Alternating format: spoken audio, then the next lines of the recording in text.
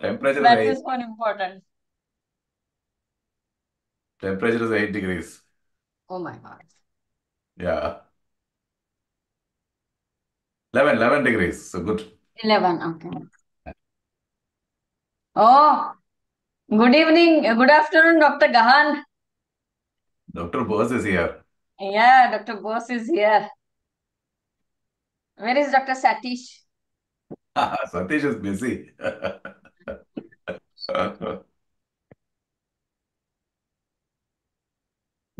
Hi. ಎಕಡೆ ಎಕಡೆ I'm sit in, blurred, I think. sit in the middle Hi, Vaishali. I can't see you though. One Good minute. evening, I'll. girl. Ah, yeah. Hello. Ah, hi. How are you? I'm good. You? I'm good, thank you. Busy, dear. Ah, very being very lazy. Wrote some Christmas cards, doing some work, Yeah. you know, all the Oh, clothes from holiday, everything sorting. I know. I'll set up my Christmas tree tomorrow. Okay. Sure, send a picture. Yeah, yeah, yeah. So How was your trip? busy organizing meetings and Yeah, I've been after him, you know, from la I think summer only. mm. Albin, this is Dr. Uh, Shalini Gadia, Dr. Vinod Gadia's wife. Oh, hello, hello, doctor. She's a GP. She's a very good friend of mine. Ah, yeah. Hello, hello, hello. Nice to meet you. All the best for your meeting. Hope Oh, thank you. it well. I'll Thank be you. listening in the background. Yeah. Okay. Learn something.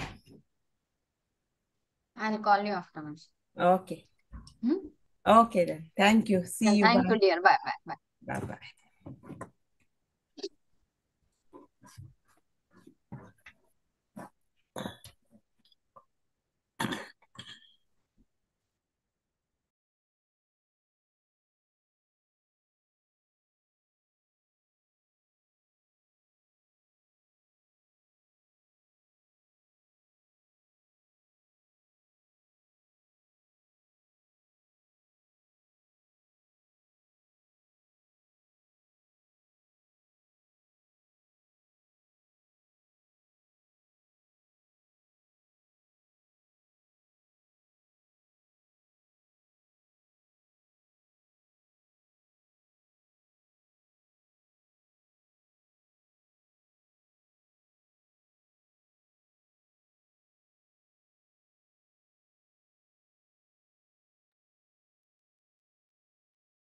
Albin, Yeah. is Prema listening? No, no, no.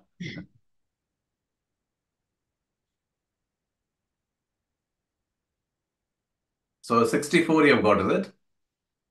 68, no? He said 68. 68. Okay, good. Mhm. You're going to wait till all the 68 join? No, no, no. What we'll do, we'll, uh, it's uh, 1759 now. We'll wait Yeah. for another 10 minutes Okay, okay, fine. Yeah. Okay. or uh, quarter past six.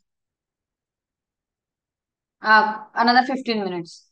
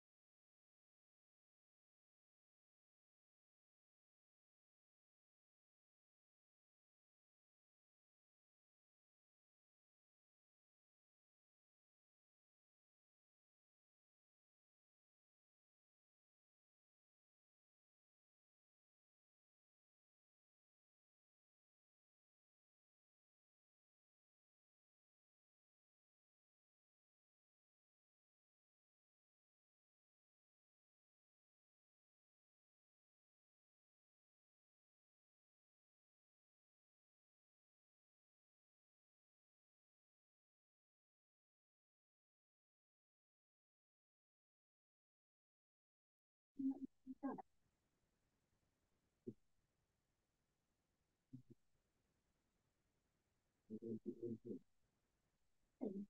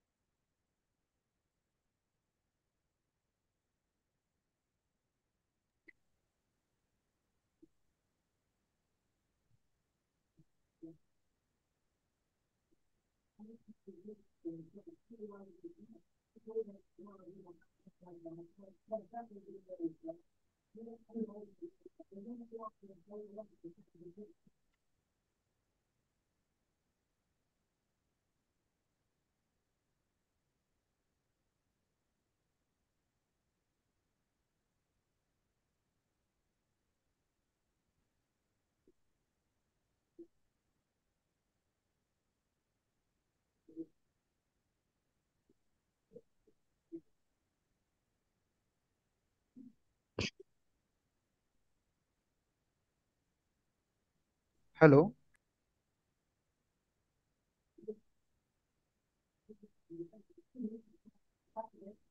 Hello.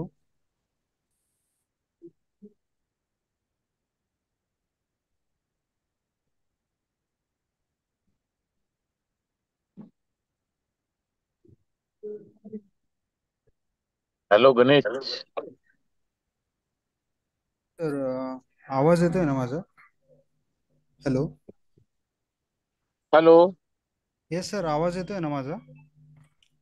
हा हा गणेश गणेश ना? हो sir हो हो बरोबर. हा येतोय आवाज. Okay sir okay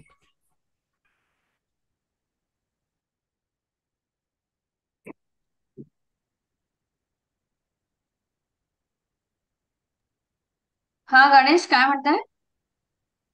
hello madam यूट्यूबची पण लिंक चालू झाली आहे. तर ती ओके पण ओके अ, त्या त्यामध्ये पण जॉईन करू शकतात सर्व. ओके ओके फाईन फाईन चालेल will just wait for another five minutes and then will start okay madam good काय इव्हिनिंग म्हणता sir good evening thank you for joining हा काय मी आता सीझरला वॉश होते. आता ट्रॅव्हलिंग करते मी. आता पाच मिनिटात पोहोचेन हा. तर मी अ, आता वॉश झालेला असेल. ऐकेन मी पण. हो जॉईन हो. होईल. हा. फक्त बोलता येणार नाही काय हं? चालेल चालेल. नो प्रॉब्लेम हा। sir, always when I call him, he is going अरे तू वरना तू है क्या उधर ही? हूँ ना सर। अरे अभी मैं ट्रैवल कर रहा हूँ अभी पाँच मिनट में पहुँच जाऊँगा hospital okay okay hi Vaishali.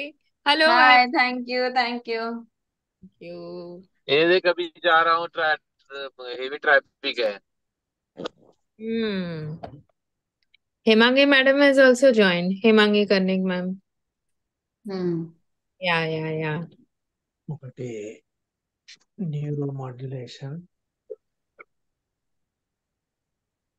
కాదు మరాఠీ బాంబేలో అవుతున్నది What do you say, office bearer? Shall we start? Uh, We are we are only 23. Another five minutes, four minutes we'll wait and start. क्या करना है? Reena? Ma'am Yes, start yes, start chalega. We can start, no? It's already or People will 6:15 we can start. use, uh, Three, four minutes. Hmm. yeah అది కూడా ఉంది ఒకటి Good evening, sir. పెద్ద just start కాలే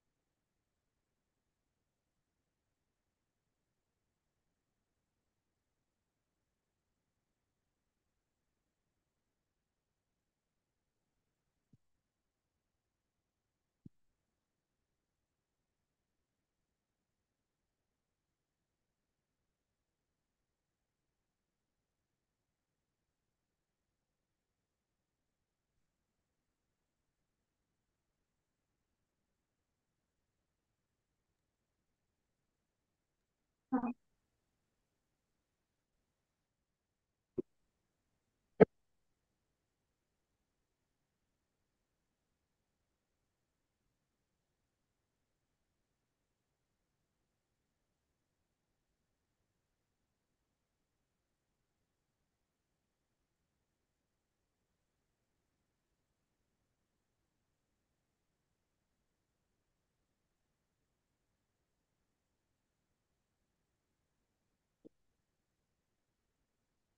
Hmm.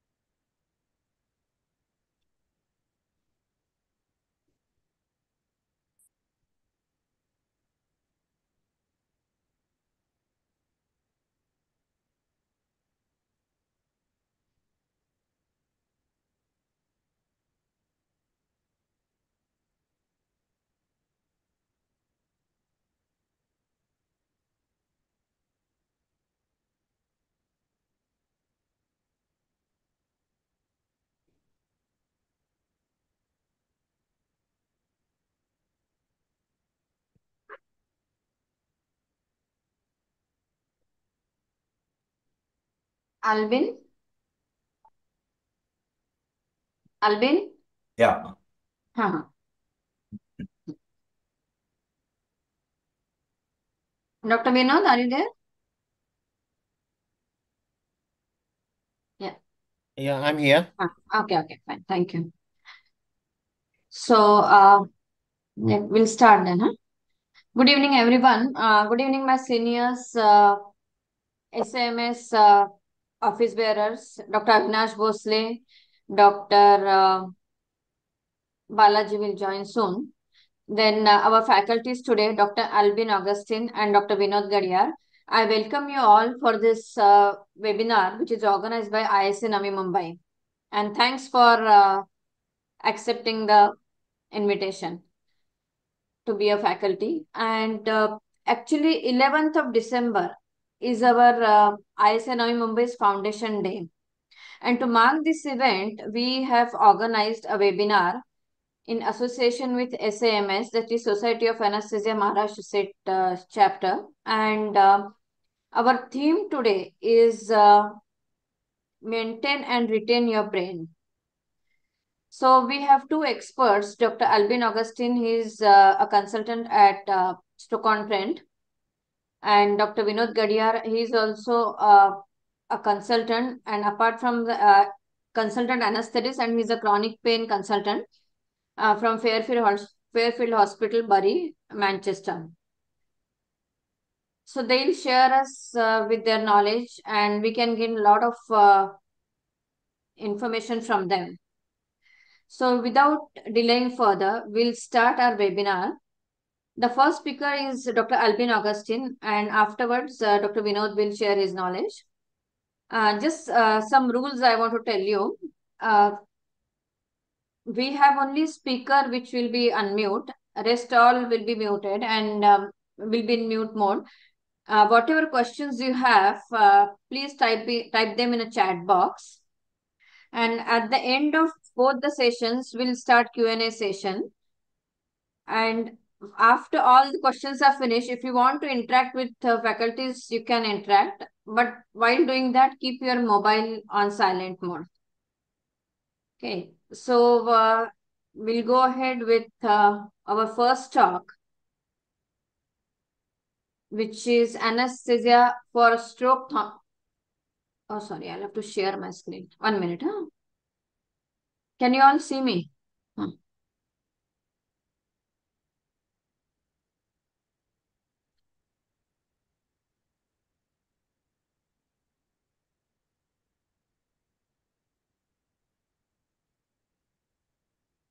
Can you all see my screen? Hello? Yeah, I, I can Huh. see. Yeah, yeah, yeah. We can. madam. Yeah. Uh, our first speaker is Dr. Albin Augustine. He's an FRCA and he's a consultant neuroanesthetist at University Hospitals of uh, North Midlands in the UK. Uh, he did training in anesthesia from India in uh, C from CMC Vellore, and uh, he does neurosurgery list uh, in a week, neurosurgery, interventional neuroradiology, and robotic urology, and he has special interest in uh, TIVA and simulation training. Over to you, Albin. Now, thank you. Thank you. Okay, if you come off your screen, I can share my screen now.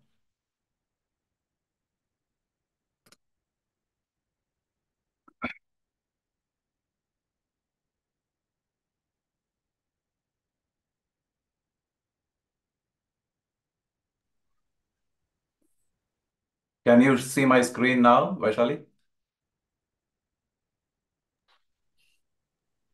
Yes, we can see Albin. And you can hear me clearly, yeah? Yeah, absolutely. Yeah. Okay, thank you so much. Thank you, Dr. Vaishali, for the invitation, and thank you for all the um, distinguished anesthetists for sparing your valuable time on this Saturday uh, evening for you. Okay, I'm not going to tell you about how to give anesthesia because you're already experts, but I will share with you uh, the knowledge and experience we have in developing this new service and how we have gone about and how our hospital has implemented this and our results. So the topic is anesthesia for mechanical stroke thrombectomy. So this is where we are based. This is where we are based. Uh, there's, this is uh, West Midlands, as you all know, UK has so many counties. And if we expand that map, we are in this place called Stoke-on-Trent, and it is a University Hospital of North Midlands, it is called. That is where we all work at the moment. Fine. So this is the uh, main entrance building. So this uh, hospital caters for about quarter of a million people. Uh, it has uh, all specialties, including neuro, cardiac, pediatrics. It's a major trauma center and also a stroke uh, thrombectomy center. What we do not do is children with major major pediatrics, and we do not do transplant operations. So this is the aerial view of the hospital. It all looks very nice from the top, but you should believe me that it's totally mad and very busy inside the hospital. Okay, regarding stroke thrombectomy, uh, this is about interventional radiology. I'm sure many of you work in interventional radiology, and um, I'm going to talk about what we do there, and especially for today's talk, what cases we do in IR, the stroke pathway and various definitions, evidence for thrombectomy, the concept of penumbra and the core, how artificial intelligence is helping us, evidence for GA and optimal blood pressure for thrombectomy, how to measure quality and outcomes, what are the good metrics, what is a good unit, and the future of thrombectomy services for the United Kingdom. Right, so this is the intervention radiology suite. We have two intervention radiology suite. One is IR1, where they do all the abdominal aortic aneurysms and uh, vascular uh, cases. And this is the uh, other IR2, where we do neuro and also vascular cases. Right, okay. Uh, sorry, okay. So the procedures, what we do in interventional neuroradiology as a neuroanesthetist group of seven or eight people covering this, normal cerebral angiogram, which you all know, coiling of aneurysms, we do around 100 in a year for subarachnoid hemorrhages, thrombectomy between 80 to 100, it was like that. I will show you how it has changed over the years. We do embolizations for AV malformations, dural AV fistulas, various cerebral tumors and for operations later, spinal cord angiogram and location of AV malformations, and some chronic brain procedures for cancer and then uh, degenerative disease, kyphoplasty and sacroplasty. Occasionally, we do blood patch for chronic sub chronic headaches, uh, and some max fact maxillofacial patients will come for epistaxis as their uh, as the tumor um, area starts sloughing. Okay, so these are the cases. So Anesthetists now are involved in stroke in various ways. ways. So it can be for acute ischemic uh, stroke. It can be for subarachnoid hemorrhage. It can be for intracranial hemorrhage. It can be for subdural hematoma. It can be for extradural hematoma and for the MCA infarct where we do a decompressive craniotomy. So in all these facets of neurologic, neuro, neurosurgery problems, anesthetists or neuroanesthetists can be involved. I'm sure many of you are also involved in these cases in an everyday practice. Let's go to the next slide. Okay, I'll start with the case report. Uh, as you can see, uh, this is the internal carotid artery winding up and going into the intracranial region. It is full of dye, and this is what is the intracranial blood vasculature, which is not seen. So she was a 67-year-old female. Around 9.40 a.m., she was shopping in a place, supermarket called Aldi. She fell down. The 999 was dialed. Ambulance came in. She came around 10.30 a.m. to the accident emergency or the casualty suite. A clinical examination and CT was done.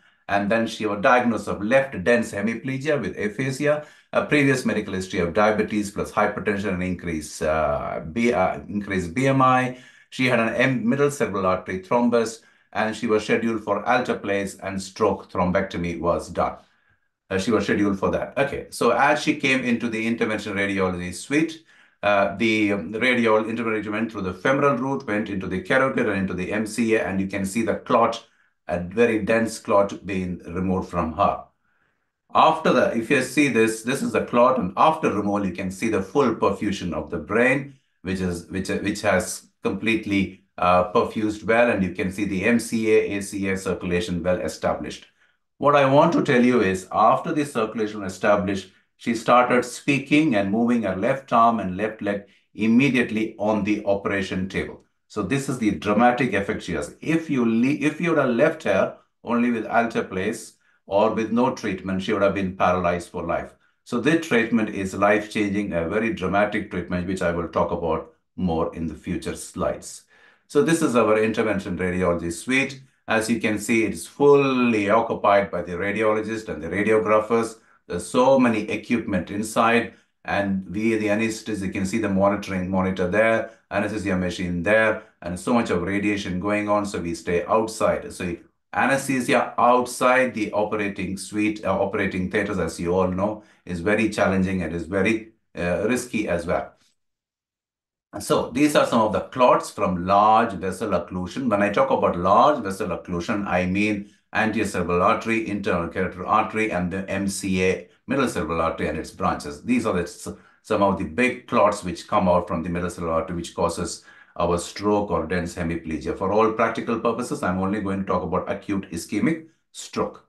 So, stroke, as you all know, it could have happened in our own relatives, in our own family, and we can see even as doctors, many people come with stroke. It is one of the fourth leading cause of death in the whole of the world. It's one of the highest disability. So the disability and the rehab work and the family trauma and the health economics for the whole country and for the family is huge. So uh, there is evidence now to show that there's enough treatment for this, and we have to work towards this to remove this highest develop, uh, disability from stroke. So this is the NHS England, that is the National Health Service, just like we have got in India, the Government Health Service, the National Health Service, where you can see the budget is at least going to around 158 billion, okay? So that is the amount of money being spent on the National Health Service. And out of this, at least 26 billion is spent on stroke, uh, on, on neuro and neurological and neuro rehab services. The budget for, for neurological disorders and neuro rehab is very, very high. One of the highest disabilities as I've just spoken to you. So the treatment available for stroke is either a drug, a clot buster, and now you can also go into the artery and remove the clot. So you've got intravenous thrombolysis and intravenous thrombolysis plus thrombectomy versus thrombectomy alone.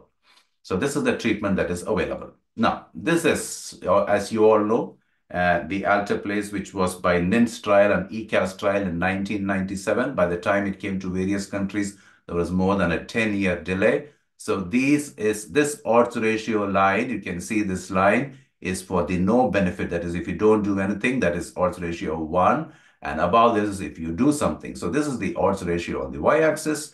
This is 60 minutes time on the x-axis. If you see there is a clear benefit, clear benefit, and this benefit extends till till 150 minutes or nearly 180 minutes if you extend this that is the low limit so up to, up to, up to about three hours you can give the alteplase or the clot busting glass you will get benefit This is where you get the maximum benefit, where the confidence interval is so narrow, and then some of the patients will not benefit because on the either side of the confidence interval.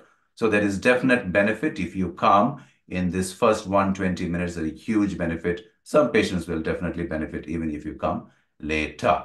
Fine. So this is where it all it all it plateaus off. After this 150 minutes, uh, there is almost no benefit at all. In fact, you can cause more harm because of alteplase or the clot busting duct. So in 2008, the New England Journal of Medicine published this new trial with thrombolysis alteplase. You can extend it up to three, up to 4.5 hours, right? Okay. So this is constantly changing. The time is going, but up now the best benefit you will get for three to 4.5 hours. Also, if you come after an acute ischemic stroke, it is beneficial. And so if you look at the uh, to the American um, guidelines, ischemic stroke guidelines from the AHA, you can see alteplase is level one evidence. Okay, it's level one evidence, and everybody should get it between over 60 minutes. It should be able to, it should be able to uh, receive it in a hospital as long as we recognize the symptom of stroke and arrive early into the hospital and the hospital staff and the doctors recognize it and give the drug early. So as you can see, um, this is the number need to treat. Number need to treat is the inverse of absolute risk reduction, where if you come within 90 minutes, the number need to treat is 5, 180 minutes it's 9, and 360 minutes is 1. So the earlier you come, the benefit is greater. The lower the NNT, the treatment effect is even greater. You can make so much savings for that. Now, one of the because we we we did not see this alteplase before in our practice. Now patients are coming with thrombectomy, alteplase infusion going in to to the neuroanesthetist or to the anesthetist. We must be aware one dangerous side effect of the alteplase, which is angioedema associated with thrombolysis. So you and uh, especially if they are on ACE inhibitors, uh, you can there can be swelling of tongue or swelling of the floor of mouth and oral pharynx progression within 30 minutes and may require intubation or an airway arrest. So anesthetist should be aware of this. This is treated with histamine. I'm sure all of you know how to treat anaphylaxis and allergy. You're experts at it. Uh, you can give diphenhydramine, ephedrine, nebulized. Um, you can give nebulized epinephrine. And ultimately, there are alternative therapies, which are C1 esterase inhibitors, which the hematology department will have. So for it is just for us to be aware of angioedema, or tongue swelling can occur because of this. Now, the problem is thrombolysis is not enough. Okay. Now, all patients who come, even if they get thrombolysis, it is not going to cause full recanalization of the large vessels which have been occluded. This is a big problem. So if you see only 20% at acute recanalization, if you see the uh, M1 branch of the middle cerebral artery only 32%, M2 branch only 30%, basilar artery only 30%. And if in severe strokes, very severe strokes, thrombolysis is definitely not enough. So we need something more to remove the clot. So now here you can see this new technique where the radiologist goes in, goes there, there is a clot there. He goes in, pulls the clot, and there's full perfusion back again. So this is a, a big revolution in stroke care uh, and produces dramatic results.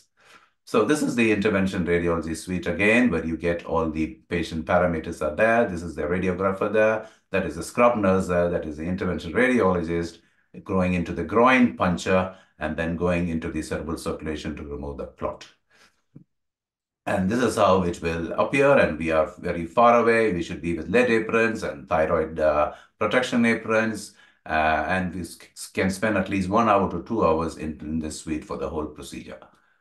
And these are the devices that are being used, which uh, which are which are called the stent retrievers, or some are balloon retractor device where you go in and pull the clot out.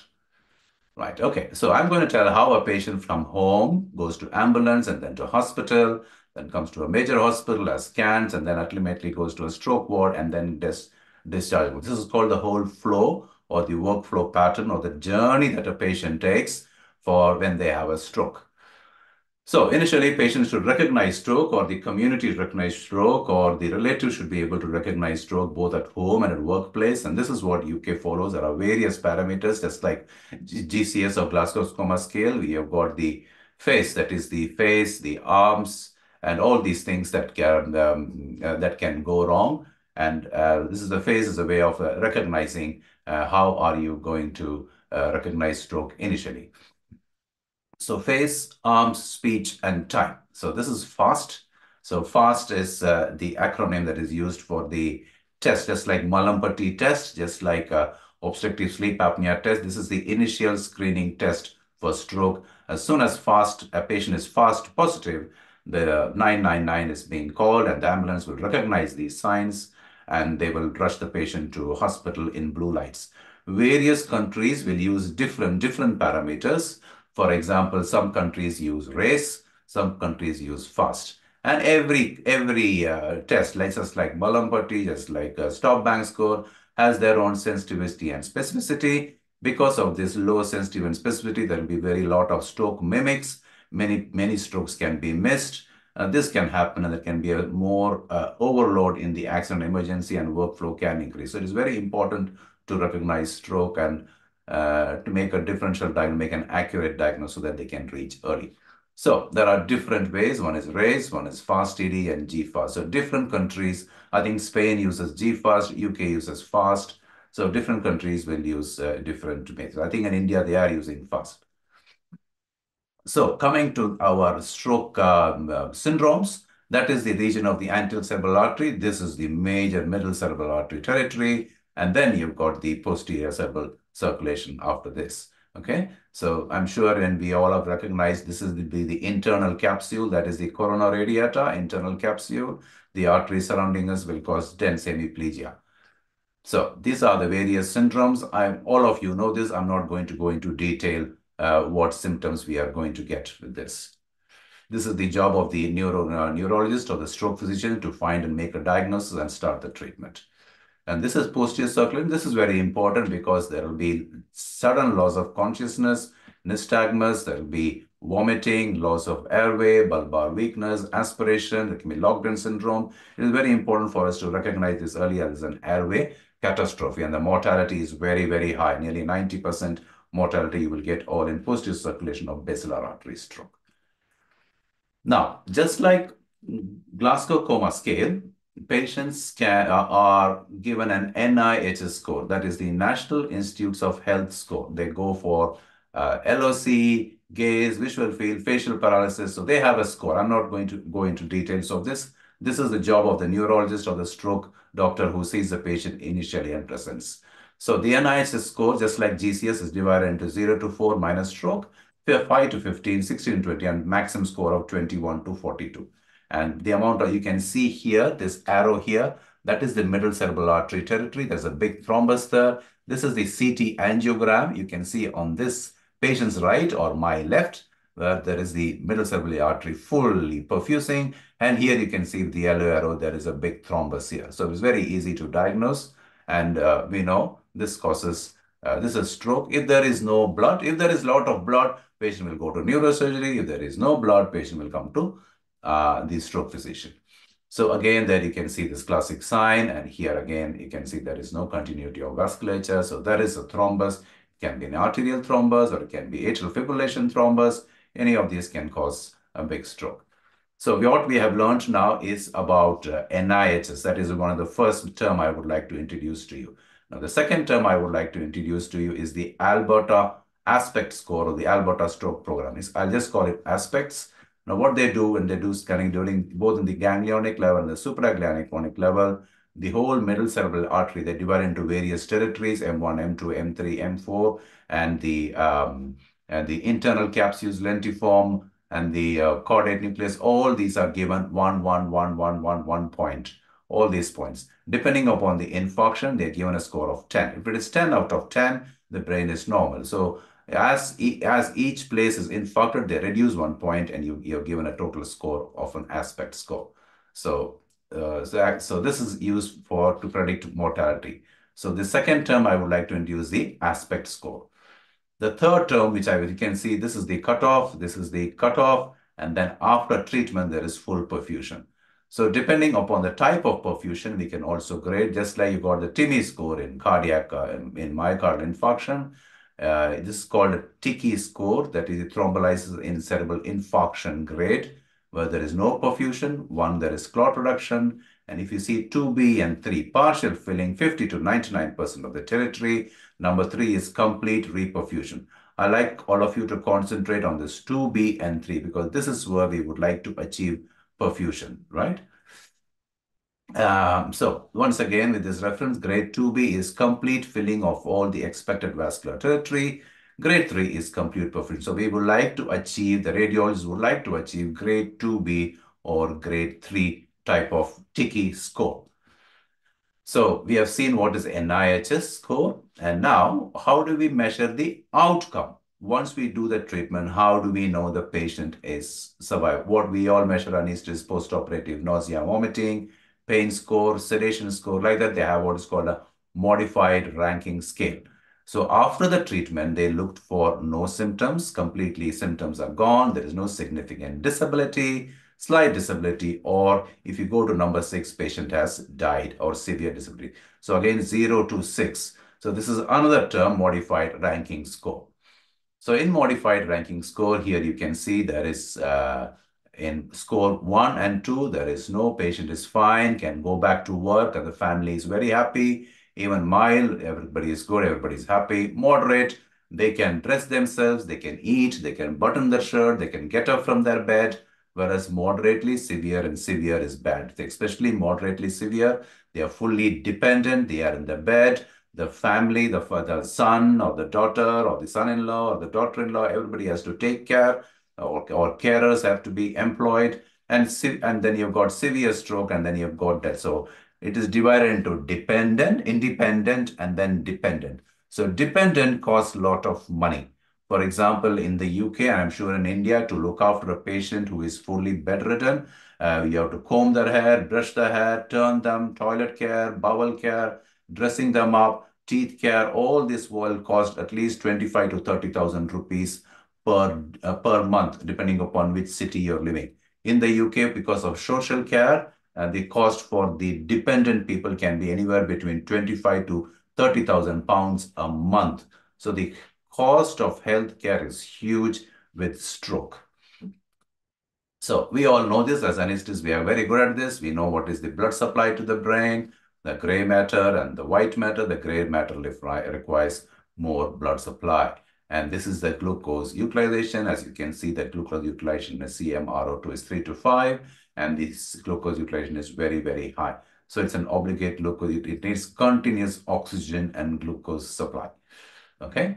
Uh, so the terminology which we have now gained are, we know what is NIHS, we know what is FAST, we know what is TICI score, we know what is Albert's, Alberta score, we know what is modified Rankin score, we know what is large vessel occlusion, which is ICA, MCA, anticerebral artery. The other things I would like to introduce now is by the time you the patient comes to the no door and has a venflon in or a cannula in to give thrombolysis, that is door to needle time and then uh, and, and then gets out of the small hospital. So there is a door in and door out time.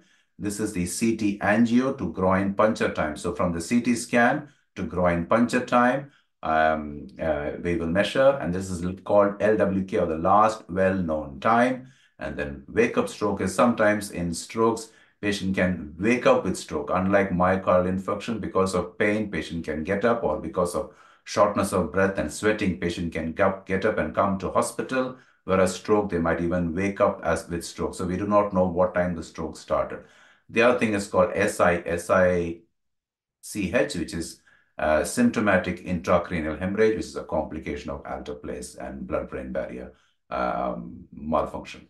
So this is the middle internal carotid artery, middle cerebral artery coming in. That is the corona radiata and internal capsule is here. This is where the various arteries come and feed. This is the, uh, uh, this is the lenticulostriate arteries. This is where you will get dense hemiplegia. So it's divided into various uh, branches, M1, M2, M3, and M4. If the clot is here, it is nice and proximal, easy to remove. As the clot progresses, it is more difficult to remove. Large clots will be here and here, and they all will need thrombectomy, whereas clots which are here may be dissolution, they maybe can be diluted with uh, alteplase. So this is the anatomy that we are interested in. So I would like to introduce also this. All of you know what is normal blood supply, normal cerebral blood flow. You know, as the blood flows slowly, slowly, slowly, it comes down. There can be irreversible damage. This irreversible damage will lead to what is called an infarct and the infarct core, which you cannot do anything. But there is an area of penumbra which can be reversible. That is because of collaterals and various type of circulations and type of people. There is still a penumbra which has got decrease in blood supply or suboptimal function is going on, but it can be still be rescued. All right. So that is what we are interested in. So mechanism is keeping injury. So within about exhaustion of cellular ATP within four to five minutes. So this is really quick. Okay. Loss of blood supply in zero second by four to five minutes. There is death of cells and an infarct core develops. So this is the oxygen extraction uh, fraction that we are talking about. So the orange is where the core is. And as we progress towards the right, as you can see, less than 12 ml per 100 gram per minute, you get infarct core of some 50. If you reduce to 12, you get a nice infarct core, which is not, you cannot reverse it. So uh, Saver in this stroke journal provided this if you per stroke, if you, you can per second and per minute and per hour, you keep on losing neurons, yeah? Nearly 1.9, 120, 1 billion neurons are lost. And if you project it for, for aging, you age so much quicker. In this is functional aging, yeah? Not in chronologically functional age. You age 8.7 hours, so quickly all your functions are lost. So stroke can be really devastating as you can see from this. So the concept of time is brain because this is born, this sort, this, this uh, phrase is born from this paper.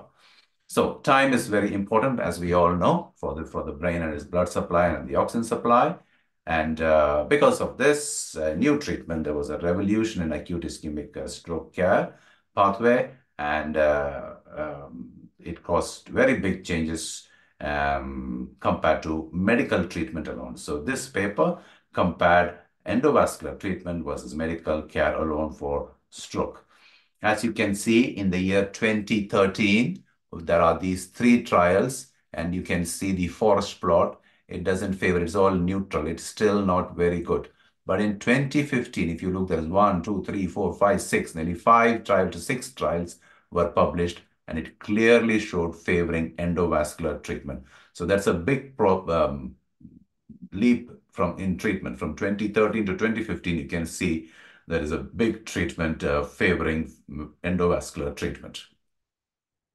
So these trials were published in the New England Journal of Medicine, Mr. Clean, Extend 1A, Escape, and there is Revascat and Swift Prime. All these trials proved that endovascular treatment is far, far superior to medical treatment alone. If you see the overall population, uh, this is the overall population. Uh, this is how uh, uh the white box is MRS 0 to 1 to 2. That means they are fully functionally independent. One uh, also less independent. And then 3, 4, 5, 6. 6 is death. 5, they are dependent. 4, they are dependent. So we are looking at 0, 1, and 2. That means they are fully independent. So look for mo modified Rankin score of 0, 1, 2. So here, if you see the control population is only 5, and then intervention population is 10. So there's a definite benefit. Even in people who are not eligible for alteplase, they may have a contraindication because they are allergic or they are very hypertensive or they had recent surgery. Uh, uh, the, the benefit is very high. See, there is 10.2 here, it's only 3.6. And people who have even received alteplase, the benefit is very high in the intervention prevention. So there is no doubt that uh, um, that uh, stroke thrombectomy is superior to medical treatment. Now, a highly effective perfusion, the, the, there is a group which were interested in all these trials and they came up with more data um, showing this, which favors, they put in various age criteria, aspect criteria, stroke location, NIHS score, and from the onset, both for more and more than 300 minutes and greater than and uh, less than 300, more than 300 minutes, and they showed it favors intervention, okay? And the number, uh, the number need to treat, the number need to treat is coming to around 2.6. Now, no treatment in non-communicable disease has achieved a number of 2.6. It is very difficult, other antibiotics, to find such a treatment for any disease. So NNT of 2.6 is really dramatic. As soon as you see this, every government and every healthcare um, healthcare institution should work on this to ready to offer the treatment so that the burden on the on the healthcare uh, of the country and the family is reduced. Um, next slide. Okay, so if you see mechanical thrombectomy 2.6, carotid endarterectomy is a fantastic operation. It's still NNT7, so very good operation. IV thrombolysis, uh, which I've been talking about, again, that's very good. It's 3.6 to 19, depending upon the time you come for stroke. And PCI or cardiac stenting or PCI is still 30, very high to prevent death. So 2.6 is one of a fantastic number to achieve, and stroke thrombectomy is, is going to change uh, the treatment in future in all the countries in the world. So in 2016, these were the indications. You were 18 to 80. We had a stroke and large vessel occlusion. If you come within 0 to 6 hours and NIH is greater than 6 and ASPECT score is greater than and 6, you were subjected to thrombectomy.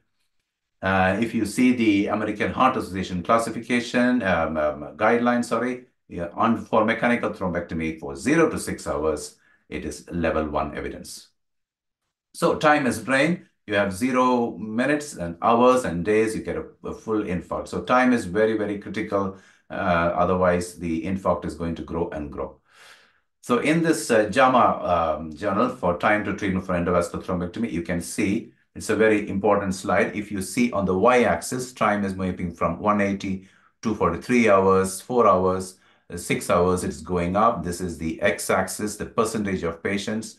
So if you as you go up, you can see this, uh, uh, you can see the percentage of patient coming down. So by 180 minutes and 240 minutes, you can see it's going down and down. So timing is very, very important. The earlier the patient comes, uh, the better is the modified Rankin score. Once again, modified Rankin score is 0, 1, 2. This is the benefit we are looking for. 3, 4, 5, 6 are, uh, 4 and 5 are dependent and 6 is death. So here, here you can see even once you come to the emergency department, this is 60 minutes, this is the percentage of functional dependence. It rapidly comes down. Once you come after 180 minutes, there's rapidly come, but still there is there is benefit. And this is the line of no difference. About 270 minutes after 60 minutes, you are, there is no benefit. And this is also after CT scan, you need to have yours around 300 minutes, there is almost no benefit. And uh, here is from, uh, uh, so this is for three months for endovascular. This is looking after three months, that is 90 days after disability. You can see for about seven hours and 14 minutes, there is no benefit. So you can come up to up to seven hours if you still have an intervention. This is the line of no benefit. Up to there, you have benefit for which favors thrombectomy. And here also it shows whatever MRS, uh, all the MRS scores 0 to 5 can be achieved if you come early. So uh, earlier, uh, groin puncture or femoral artery puncture will favor good outcome. Now, the patients, uh, when they're coming through ambulance, either they will come to a small hospital or a district general hospital or an acute stroke center, or they can be taken to a big hospital called a comprehensive stroke center, which can do intravenous thrombolysis, mechanical thrombectomy, decompressive craniotomy, and ICU admissions. Now, there is a confusion. What will the ambulance do? Go straight to the big center or go to a small center, receive thrombolysis, and then go to a big center. These are all debates that the network will organize depending upon where the patient location is. Is the big hospital nearer? Is the small hospital nearer? Depending upon the stroke severity, they will make this uh, decision which hospital to go. So either you can have a mothership model where you come straight to the um, big hospital or you can have a drip and ship model where they go to a small hospital, get their CT scan done, put the cannula in, get the alteplase, and then ship them into the big hospital. So when they do that, so this is, they come into a small hospital from door to their through the thrombolysis to their cannula time is a door to needle time. Then once they leave the small hospital and go to a big hospital, it is called the door in and door out time, or they can come straight to, to the uh, angiography suite in the big hospital, that is door-to-door time. Once they come into the angiography, we are measuring the door to the uh, arterial puncture time, okay? Or they come to a big center, door to door to thrombolysis time, and, then hub to the uh, thrombo, the arterial puncture time. So these timings are very, very important. Where the ambulance goes, how much time we take, cut to do CT scan, how much time we take to give thrombolysis, how much time we take for thrombectomy. All these are very important times. So for every four minute delay in the accident and emergency unit or the casualty, door to reperfusion, one in 100 will have a bad outcome. For every 1,000 patients, for every 15 minutes faster A&E door to reperfusion time, 39 patients would have less disabled outcome at three months, which is very important.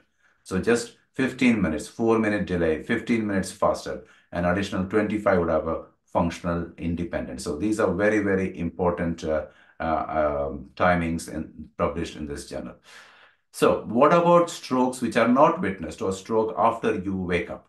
Okay, so there are some trials. These are the DEFUSE trial and uh, for, sorry, DEFUSE trial for 6 to 16 hours. And then if there's a dawn trial, which you will get up to 6 to 24 hours, 6 to 16 hours, sorry, dawn trial and DEFUSE trial will be 6 to 16 hours. So even later, if you come, there is benefit for endovascular therapy.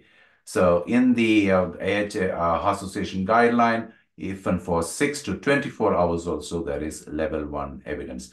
I'm, I'm not going in detail into both the dawn and DEFUSE because it's more of a neurologist thing. It is not. And what they do is what they do is advanced imaging. Um, they, they just don't do a plain CT, but they, they do CT perfusion or MR diffusion, and they look at the core volume. Yeah, this is the volume, infarct core volume, and they look at the um, the they look at the volume of the penumbra and the core and take a ratio and the volume and the age and then make a decision whether they should have thrombectomy or not.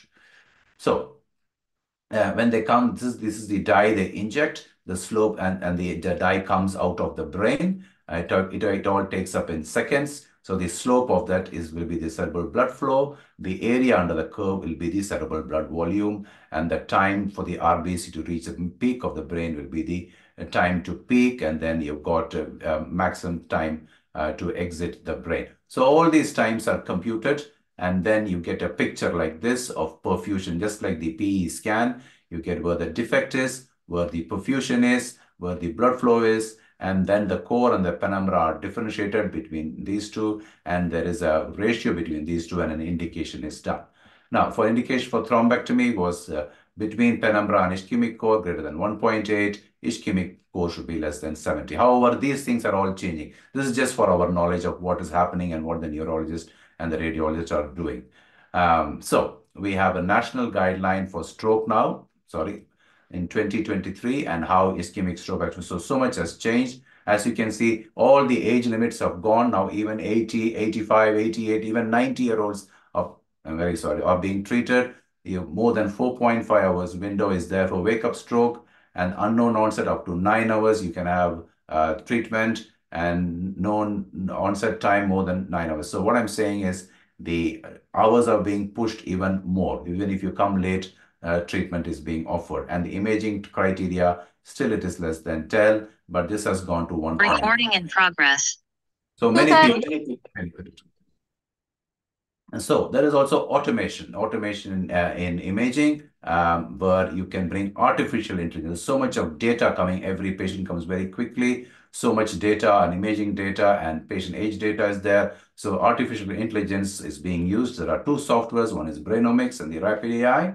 And these uh, uh, these trials are being fed into all these uh, into all these softwares, and you get the physician will get an update immediately once the patient factors are entered and the imaging is entered. You get where is the infarct, how much is the penumbra, what is the core volume. You don't have to interpret the whole thing, which will take time. So this software does it for you, and all the all the trials are being fed into this as clinical validation. And on the mobile phone, both the stroke physician and the anesthetist, we, we, don't have this, uh, but the stroke physician and the intervention radiologist will get this so that they can plan very, very early. So all these are being very uh, done very early. It's a mobile app. You can open it and see your patient. Even if they are in a small hospital, you will receive information early and you can plan. So all this is possible because of new types of devices. All these are the new uh, type of devices which are being now sold, just like various generations are there. There are new generations of devices depending upon the anatomy. Uh, I'm not going to go into the, there are two types, stent retrievers and aspiration catheters.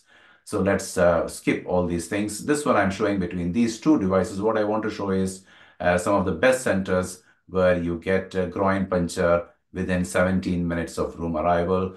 And uh, that, that time from groin puncture to reaspiration is 25 minutes, 30. So these are all very, very uh, uh, good centers which have produced these results. This is the closure device. Once the, the cannula, once the femoral artery puncture is finished and the whole catheter system comes out, they close the femoral artery puncture with this device. Uh, these are the risk factors for stroke. Uh, you all know it. I'm not going to go through this.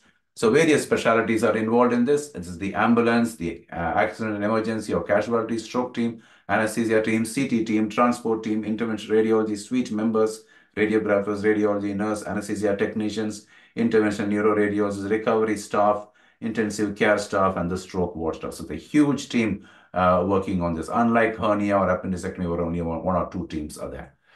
So this is the suite where they all work together.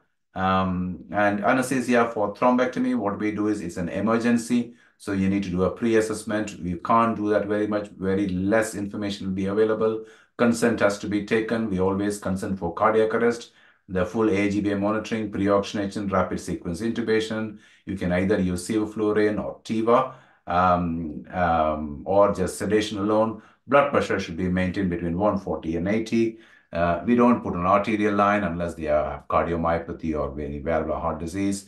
Uh, no catheter, warming, good blood glucose control, we give Filovate and extubate, especially without aspiration, because aspiration is one of the commonest cause of deaths in all very sick, frail, and post-stroke, post-thrombectomy patients. Um, anesthesia, uh, it can, it's an emergency where you take quick history, look at the comorbidities. You can either give a local anesthetic or where you do nothing, and they take over if the patient is very cooperative, or some patients can be very agitated, they need sedation, or some people where the, the thrombus load is very high, the carotid is very tortuous, and the patient is very unstable, uh, and the intervention radiologist is very junior, they all demand general anesthesia. So GA is very, very useful for this procedure, which is very commonly used now. So before conscious sedation was a general, it was before uh, uh, thought that GA is very bad because we cause hypotension and all observational studies showed that sedation is much, much superior to general anesthesia and general anesthesia was frowned upon because of this uh, bad outcome with GA causing hypotension. Now, so we were waiting for a randomized control trial. This is the Goliath trial, which came from Germany. And this is a single center trial, which showed uh, I'm going to go in between conscious sedation and general anesthesia. If you see the 90-day MRS score here, it's 2 and 2. That means it says that general anesthesia is not inferior. In fact, it can be better. It can be even better uh, for uh, thrombectomy. So general anesthesia is slowly becoming better than conscious sedation. Now, if you look at uh, the neurology, um, um, this, this paper which came out recently in 2023, uh, which compared endovascular thrombectomy versus non-GA, and these are all the trials, Siesta, uh, Goliath, Canvas, and all these trials, these are the various techniques. Different people use different, different techniques. Um, and this is the summary of everything. Uh, Siesta, ANSTROKE, Goliath, Canvas, all these are single, single, single center study from China, again, single study. And then France made this uh, gas study, which is around four centers.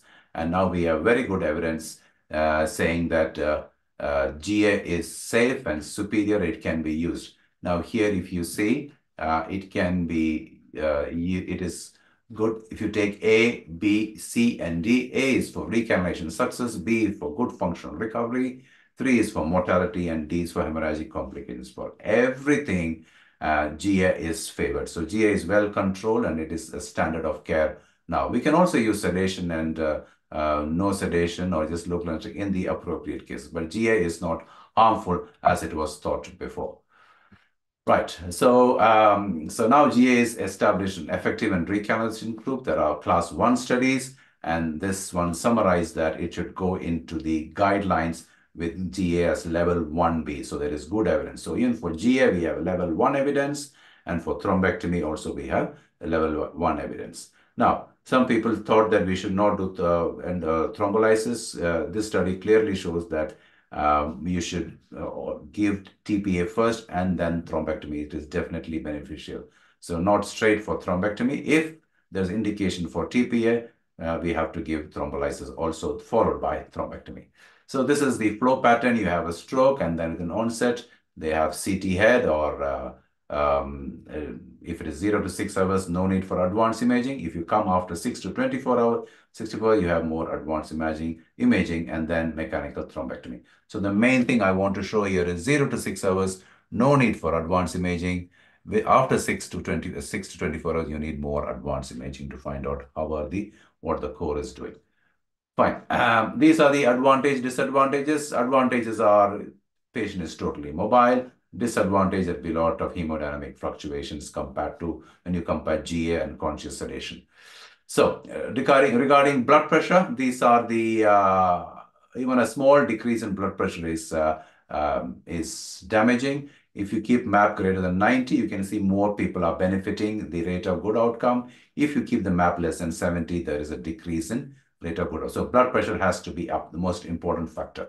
So the guidance is not very clear. It's still only level two evidence. If the blood pressure is very high, you have to bring it down to 180 by over 105 to the what everybody is scared of is the hemorrhagic transformation if the blood pressure is very high, which will increase uh, which will increase mortality. So there is still not very good evidence, but its evidence is slowly coming. One trial which I want to show is the Enchanted Towel uh, trial, which came up in Lancet.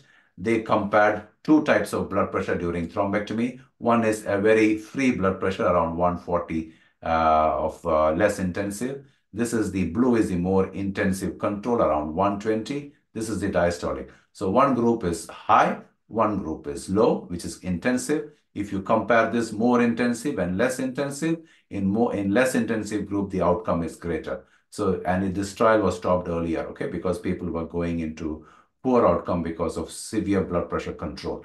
So leave more intensive control and just do less intensive control. Uh, so the uh, these are the other um, randomized control trial, BP target, enchanted, best, and optimal. And all these groups uh, advocate do not go into very low blood pressure, do not have very high blood pressure. Somewhere stay somewhere between 140 to 80 is what is recommended. So there is always controversy regarding this. The latest uh, editorial shows that 140 to uh, between 140 to 180 is a comfortable, and we have to personalize uh, the blood pressure depending upon how the patient is because of various other comorbidities. So we can also, regarding the type of anesthetic, so blood pressure we have tackled. Now type of anesthetic, we can either use Tiva or sevoflurane, or you can use sedation. Uh, so regarding comparing this, this is a retrospective trial which came from Dubai, and this showed this sorry this showed that uh, um, inhalational you get uh, only 12 and Tiva you get 18. So there is some evidence that in retrospective analysis Tiva is looking better, but I wouldn't. This is wrong way of presenting. This is because it is retrospective. I'm just trying to show you that you can use different methods, and in this Tiva is shown, and I've got a bias towards towards Tiva. So next, uh, when we come as an anesthetist, we are going to induce in the anesthesia room. It will all be rapid sequence for all, all patients, whether fasted or non-fasted. You can use opiate, remifentanil infusion. No need for arterial blood, intra-arterial blood pressure monitoring. You can just use blood pressure, maintain with oxygenator and sevoflurane. Some patients are very elderly and frail. They will need very less MAC, but maintain blood pressure between 140 and 80. So you need metaraminol infusion or ephedrine infusion or whatever vasopressor you would like to use post-operatively extubate and sent to the stroke ward or intensive care as the case uh, warrants.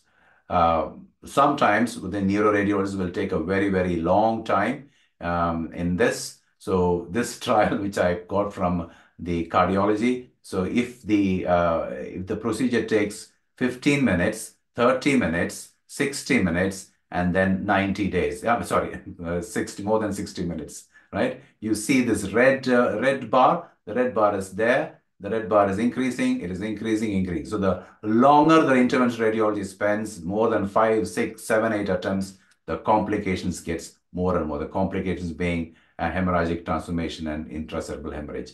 So we should try and bring the radio. They, they start enjoying and the once they are into the cerebral thing, they try and get the best picture oh, I need, I need more attempts, more attempts, but this will create harm. So first attempt is the best attempt, just like our laryngoscopic attempt and difficult airway. Uh, only two, three, or four attempts should be good. You should be able to get it. Otherwise, you're going to cause more harm.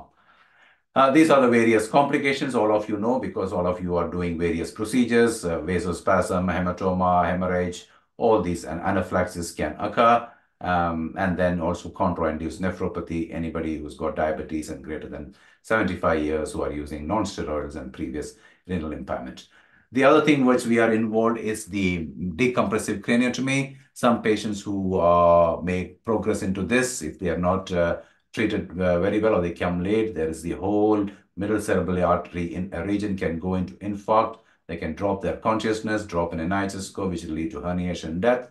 So we are involved in this. Uh, they are rushed as, as E1 into the uh, operating room for decompressive hemicraniectomy. And there is good evidence that surgical produces better outcome in these patients. And uh, this is the outcome if you get an NNT of 2 for survival and MRS score less than 4, NNT of 6 for survival and MRS score less than 3. So definitely below 60 years, it is advocated. Over 60 years, you'll have to do a detailed discussion with the family.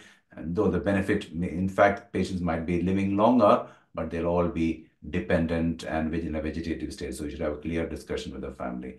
So there is a 23% greater chance of MRs at 3 at 1 year, 42% reduction mortality. So it is definitely beneficial in patients less than 60. So how to measure? We're all doing all these things, but how do we measure quality? It's all very important to, though we do so many things, but are we doing the right thing? So this um, group uh, created a consensus and regarding quality and benchmarking.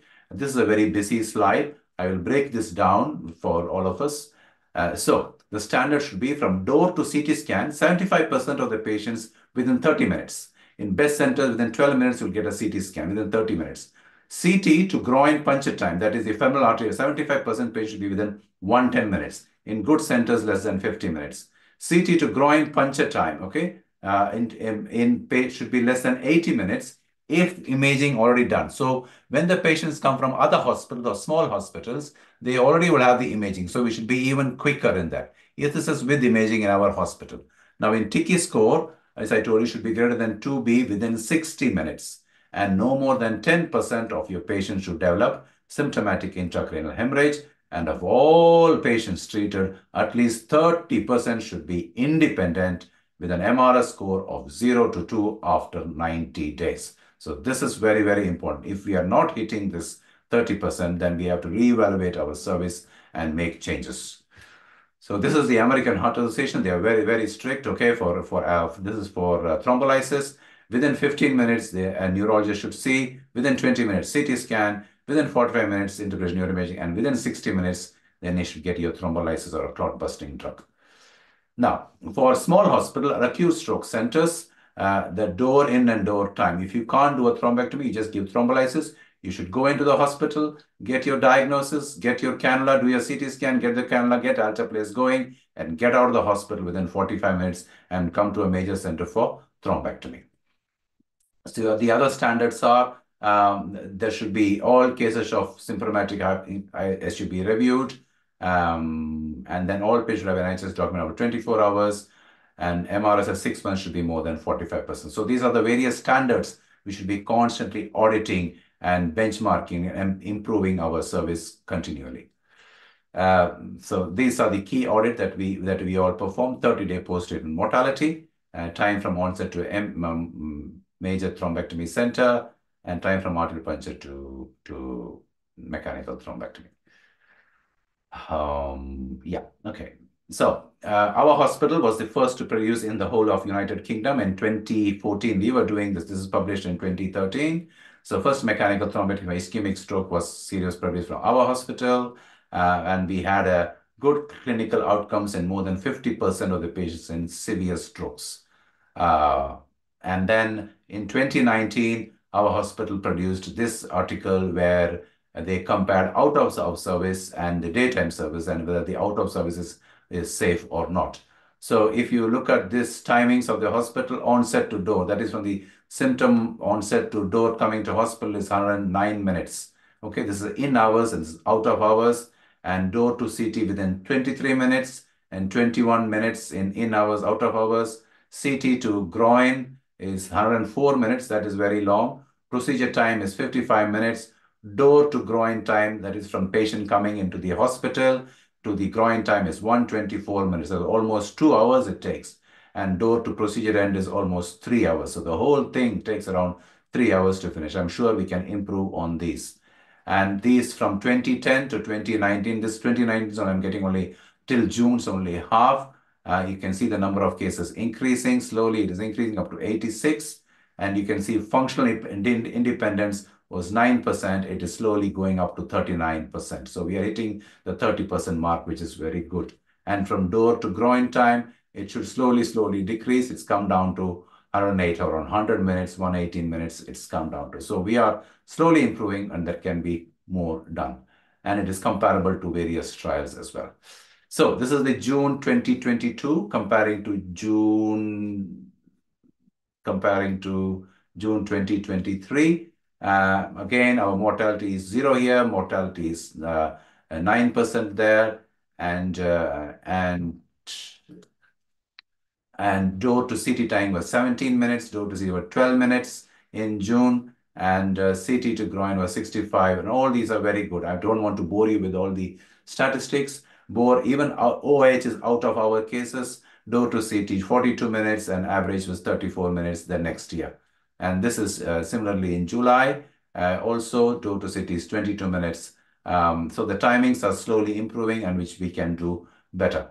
So this is what we aim to achieve. Door to groin puncture 60 minutes, door to groin puncture 45 minutes, groin puncture deployment of device less than 30 minutes, and to full reperfusion less than 6 minutes. This, this is what we are trying to achieve, and we are benchmarking to this and auditing the, our practice.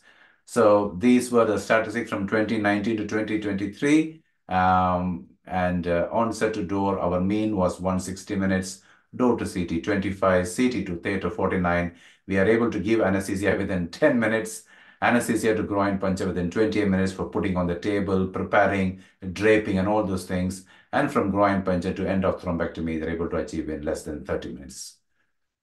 So what did all the patients come from? They came from our neighboring hospitals. So neighboring, our more patients come from our own place, and these are all the neighboring hospitals.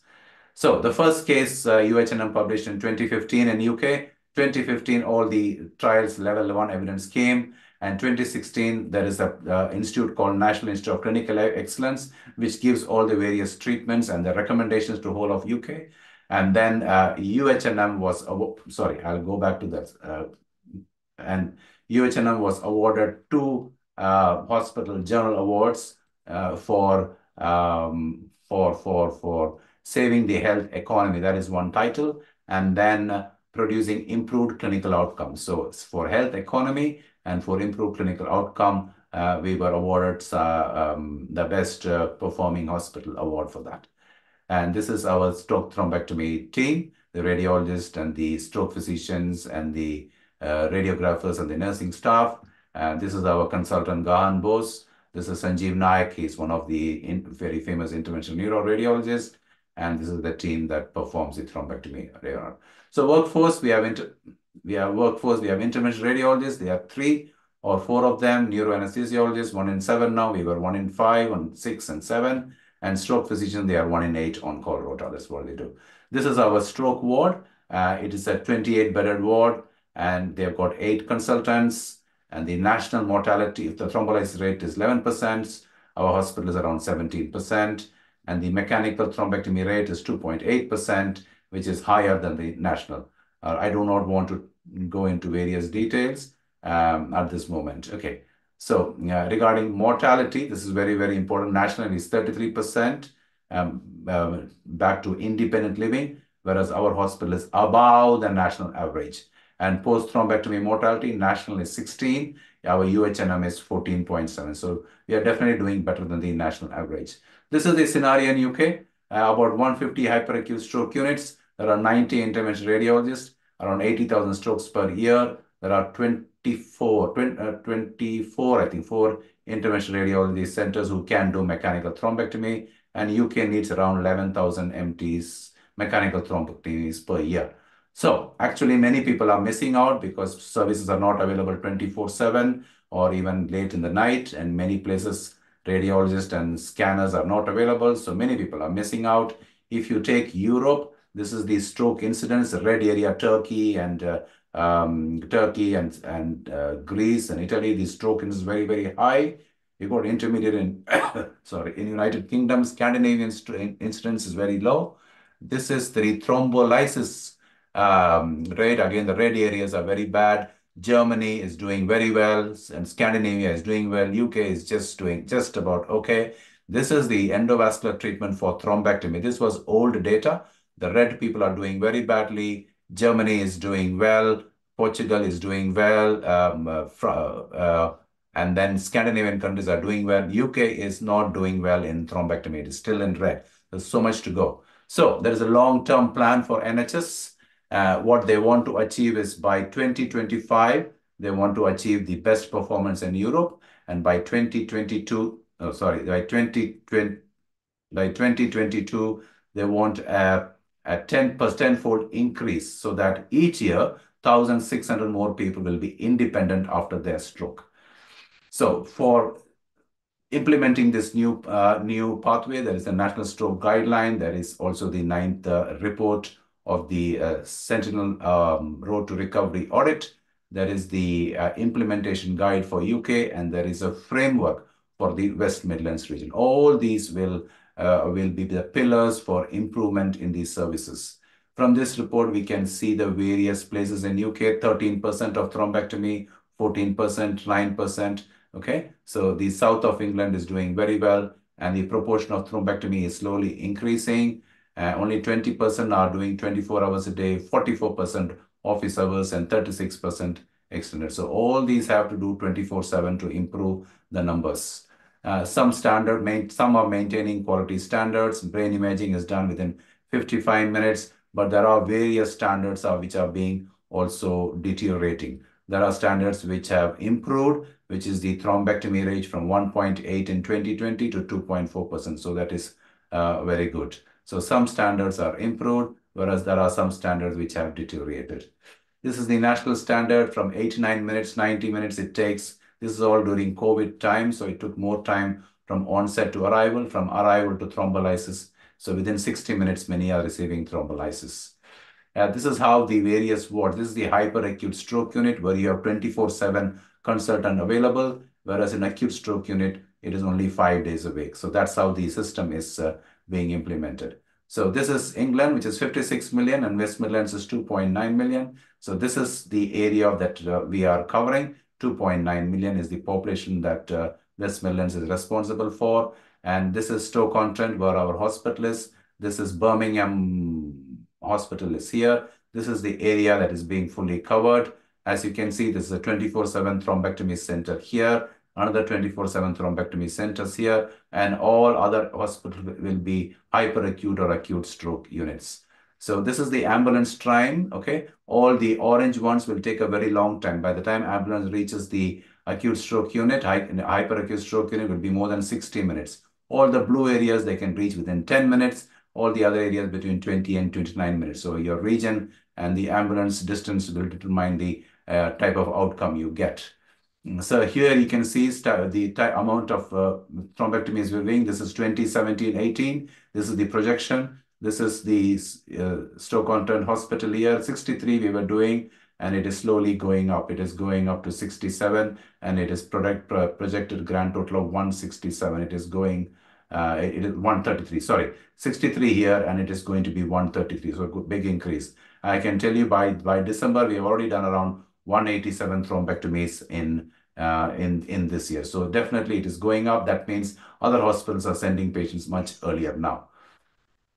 Um, and uh, to come to our hospital, it will take, this is from this hospital, will take around 52 minutes to reach from various places, 69 minutes, 52 minutes, whereas through helicopter service, air ambulance takes only 10 to 15 minutes to reach the hospital. So you can gain more time. So there is a hospital from, there is a new helicopter service available from another smaller hospital, but this is available only in daytime so that vital minutes are saved and the outcome gets better. Uh, and you just can't do only thrombectomy in primary care. This is the goal for the nation. You get atrial fibrillation, high blood pressure, and high cholesterol. All these have to be controlled. So by 2029, 85% of the people with AF will be detected. 90% will be on adequate anticoagulation. You need to reduce people's blood pressure. By 2029, 80% of the blood pressure will be diagnosed and reduced. And cholesterols, if 75% of the people by 2029 uh, will, will get their cholesterol reduced or have a cardiovascular risk assessment. So primary healthcare also you have to intervene uh, in a timely fashion to reduce the amount of stroke you get. So Saving Brains is a document which tells about various services uh, in this place. So England is doing 2.5%, whereas USA is doing 8.5% of all thrombectomies. That is very, very high. Other countries are high. England is still very, very, very low at the moment. It has to increase. Uh, now, nearly 5,899 patients have missed out on the treatment. Nearly 52% of the uh, stroke units have a consultant vacancies. And all these are various problems. 42% of the stakes are not scanned within one hour. And we, the UK has to spend nearly 400 million and that would be, be cost a save of saving of around 1.3 billion over five years. So money has to be spent so that you can save on rehabilitation and rehab care. So these are the three guidelines which we use, 2023's National UK Stroke Guideline, the AHA American Guideline, and the European Stroke Organization um, ESMINT guideline for, for treatments and for the pathways. Uh, this is Maharashtra. Uh, Maharashtra's population 127 million and Mumbai population is 20 million. How uh, the Maharashtra government and the health minister will organize the scan centers and thrombolysis centers, how you will get quickly to hospital. This is a major planning I'm sure every state and every city will do on itself and will treat its patient to get the best possible outcome. Um, so, conclusion. Uh, the evidence for mechanical thrombectomy is very, very high. UK needs around 11,000 mechanical thrombectomies per year. You need to totally reorganize the stroke services and there should be increase in training of staff. Some of the general radiology consultants have to be trained in, uh, in intervention neuroradiology as well. And of course, the spending has to increase so that you can save money later. That is all I have to say. Thank you so much for listening. Thank you.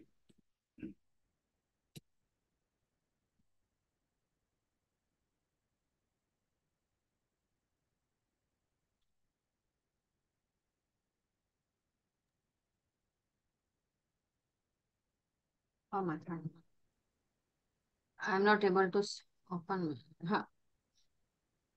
Dr. Alvin, excellent presentation. Excellent, very good. Thank and you. you have not only uh, told us about uh, management, but whole statistics. I think we'll come to questions afterwards. Yeah, yeah. Statistics and how should we improve practice? Yeah. Very good, very good. Thank you. So now we'll move to our second presentation, which is by Dr. Vinod Gadiyar. And I'll just share my screen.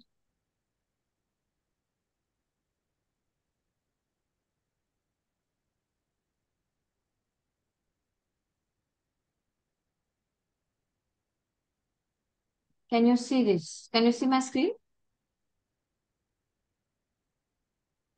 Can you all see my screen? Yes, madam. Yes. Uh-huh.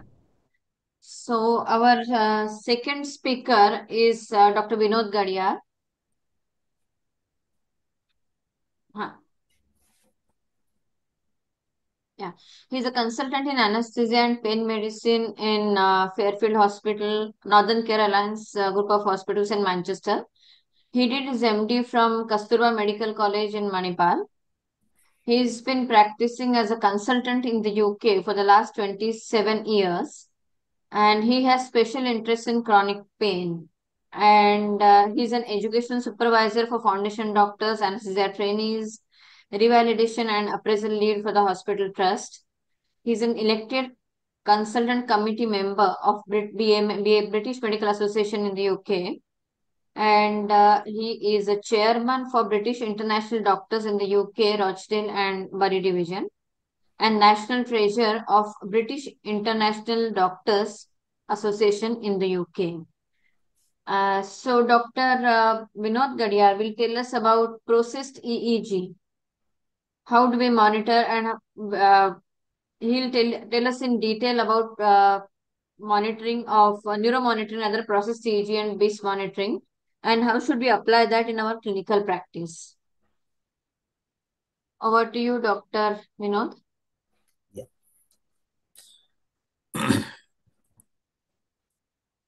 Me let me share that. Uh,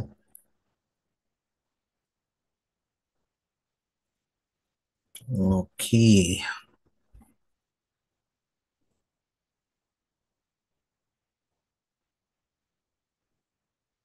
Can you see my uh, screen, Vaishali? Yes, yes, yes. Uh, I can't see myself, uh, but that's Yeah. all right. That's all right. We'll be seeing you. Yeah, yeah, okay. Uh, uh, thank you very much, uh, uh, for uh, inviting me, uh, and uh, thank you for your kind introduction. I want to say what a fantastic talk we have had by Albin. Um, I hope I can um, live up to the expectation on my talk here. And congratulations to him for winning a um, you know uh, accolade in the country for their service. Okay, thank you also to uh, the office bearers of uh, uh, and members of uh, ISA in Navi Mumbai. Um, I've not been to Navi Mumbai other than passing through, but uh, now that um, I'm connected, I would like to come and visit um, you. Um, greetings from sunny Manchester. Uh, it's winter here now, uh, but uh, today we have got a very uh, good temperature of 11 degrees, uh, which is higher than usual for this time of the year. And um, it's sunny as well. Um, and I'm delighted to do, to do this talk uh, to the August audience. Uh, uh, and I'll try and keep uh, my talk to as simple as possible and user friendly uh, for a general anesthetist. And um, uh, please ask me questions, uh, which I will try and answer at the end of uh, the presentation today. So um, I will just go through this talk uh, on following headings. Uh, my talk is only for about 20, 25 minutes. Um, I'll just do a quick introduction, um, EEG waveforms, uh, touch on depth EEG and what is by uh, uh, monitor, uh, EEG indices, spectrogram, and how to make most of the EEG to administer a safe anesthesia, and some conclusions. So uh, I don't have any declaration of interest. Um, my um, this uh, I want to say that I'm not an expert in EG, nor am an academic. Um, I'm just a simple jobbing anesthetist. Um, the um, story about uh, use of EEG um, started in 1937 uh, when it was thought that um, EEG can be of help to measure the depth of anesthetic. And um, the process EEG, which was uh, to do with the spectrogram, uh, was uh, done for the first time in 1971. So I'm not talking about anything that is new here, but what has happened is um, um, we have had um, interest in uh, preventing um, the uh, depth of, uh, sorry, preventing the awareness under anesthesia. So um, I put the depth of anesthesia here within inverted commas. That meant that whatever you do, it's a, only a surrogate marker. And uh, uh, EEG uh, is one of the things that we can use to uh, prevent um, uh, awareness and also to measure the depth of anesthesia. So there are four uh, bits that I'm going to talk about today, raw EEG and um, processed EEG, spectrograms, spectral edge frequency, and uh, various indices. Okay. I'll go slowly and um, um, just to talk about each of them. So this is basic actually, which is talking about EEG waveforms. Now, this is cricket, isn't it? Most of the times we think of cricket, yes. And uh, in EEG uh, waveforms, I think it's good to think of cricket. So um, it's a small mnemonic that I have. If you uh, win a toss, you just uh, want to bat first, isn't it? So get batted. So from the bottom here, G is get batted, B A T D. Okay, so that's how to remember. Um, so the waveforms are measured uh, by number of beats in a uh, number of amplitudes in a second. So if there is only one, like here, is one, one hertz. If there are five in a second, it's five hertz. If there are eight in a second, it's eight hertz.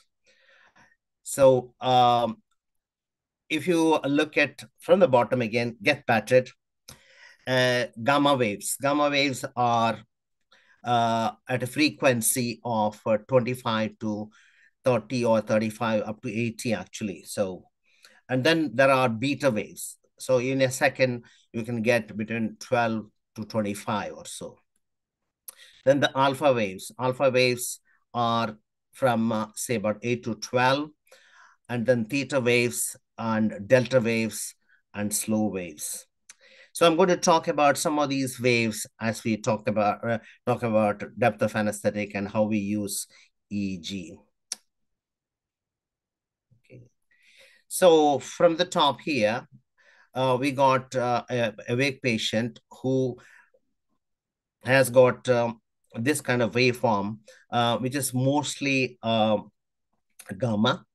And uh, as the patient gets into anesthesia, slow in slow induction of anesthesia, there will be a bit of paradoxical excitation, and you can see the waveform is changing. And uh, this is mostly beta oscillation. Okay, and the patient becomes even deeper, and the alpha starts to appear along with the low beta uh, waves and the patient uh, uh, achieves unconsciousness and surgical level, you get slow uh, beta as well as alpha oscillations. So alpha meant, as, as we were talking about, uh, per uh, second about 8 to 12 um, uh, waves. And once when the patient is unconscious at induction of anesthesia, you'll see these waveforms like waves in the uh, sea, um, which is delta. So delta is uh, lower in frequency, maybe one to four.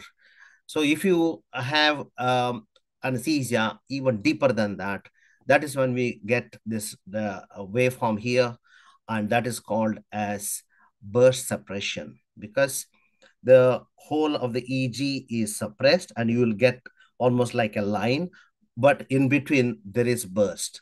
So if uh, that is why it's called as burst suppression, burst and suppression. And then um, even deeper levels, you can get complete isoelectricity like a flat line. Okay. So in uh, clinical practice, what we do is we measure the um, frontal EEG. Um, so this is uh, uh, one of our trainees. Uh, so sorry. Um, so um, we put this is a uh, a BIS monitor that we are using. Um, so the electrode is placed on the forehead before we put the um, electrode. We have to nicely clean the area uh, so that we don't have any uh, problem with the impedance, and then um, it is connected to the monitor. So Electrodes are placed over the forehead to record EEG from the frontal lobe. Then the EEG is being uh, uh, transmitted onto the monitor. Uh, there is a process there called as fast Fourier transformation, which dissects this waveform into principal components of frequencies. Say, uh, and uh, it is there is a uh, number that is derived from these, um, and uh, BIS is one of them.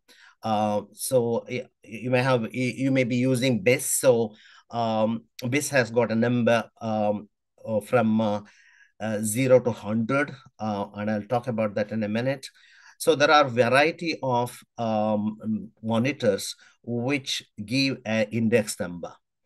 And um, then there is also um, how a mathematical model which uh, also gives you uh, a power spectrogram.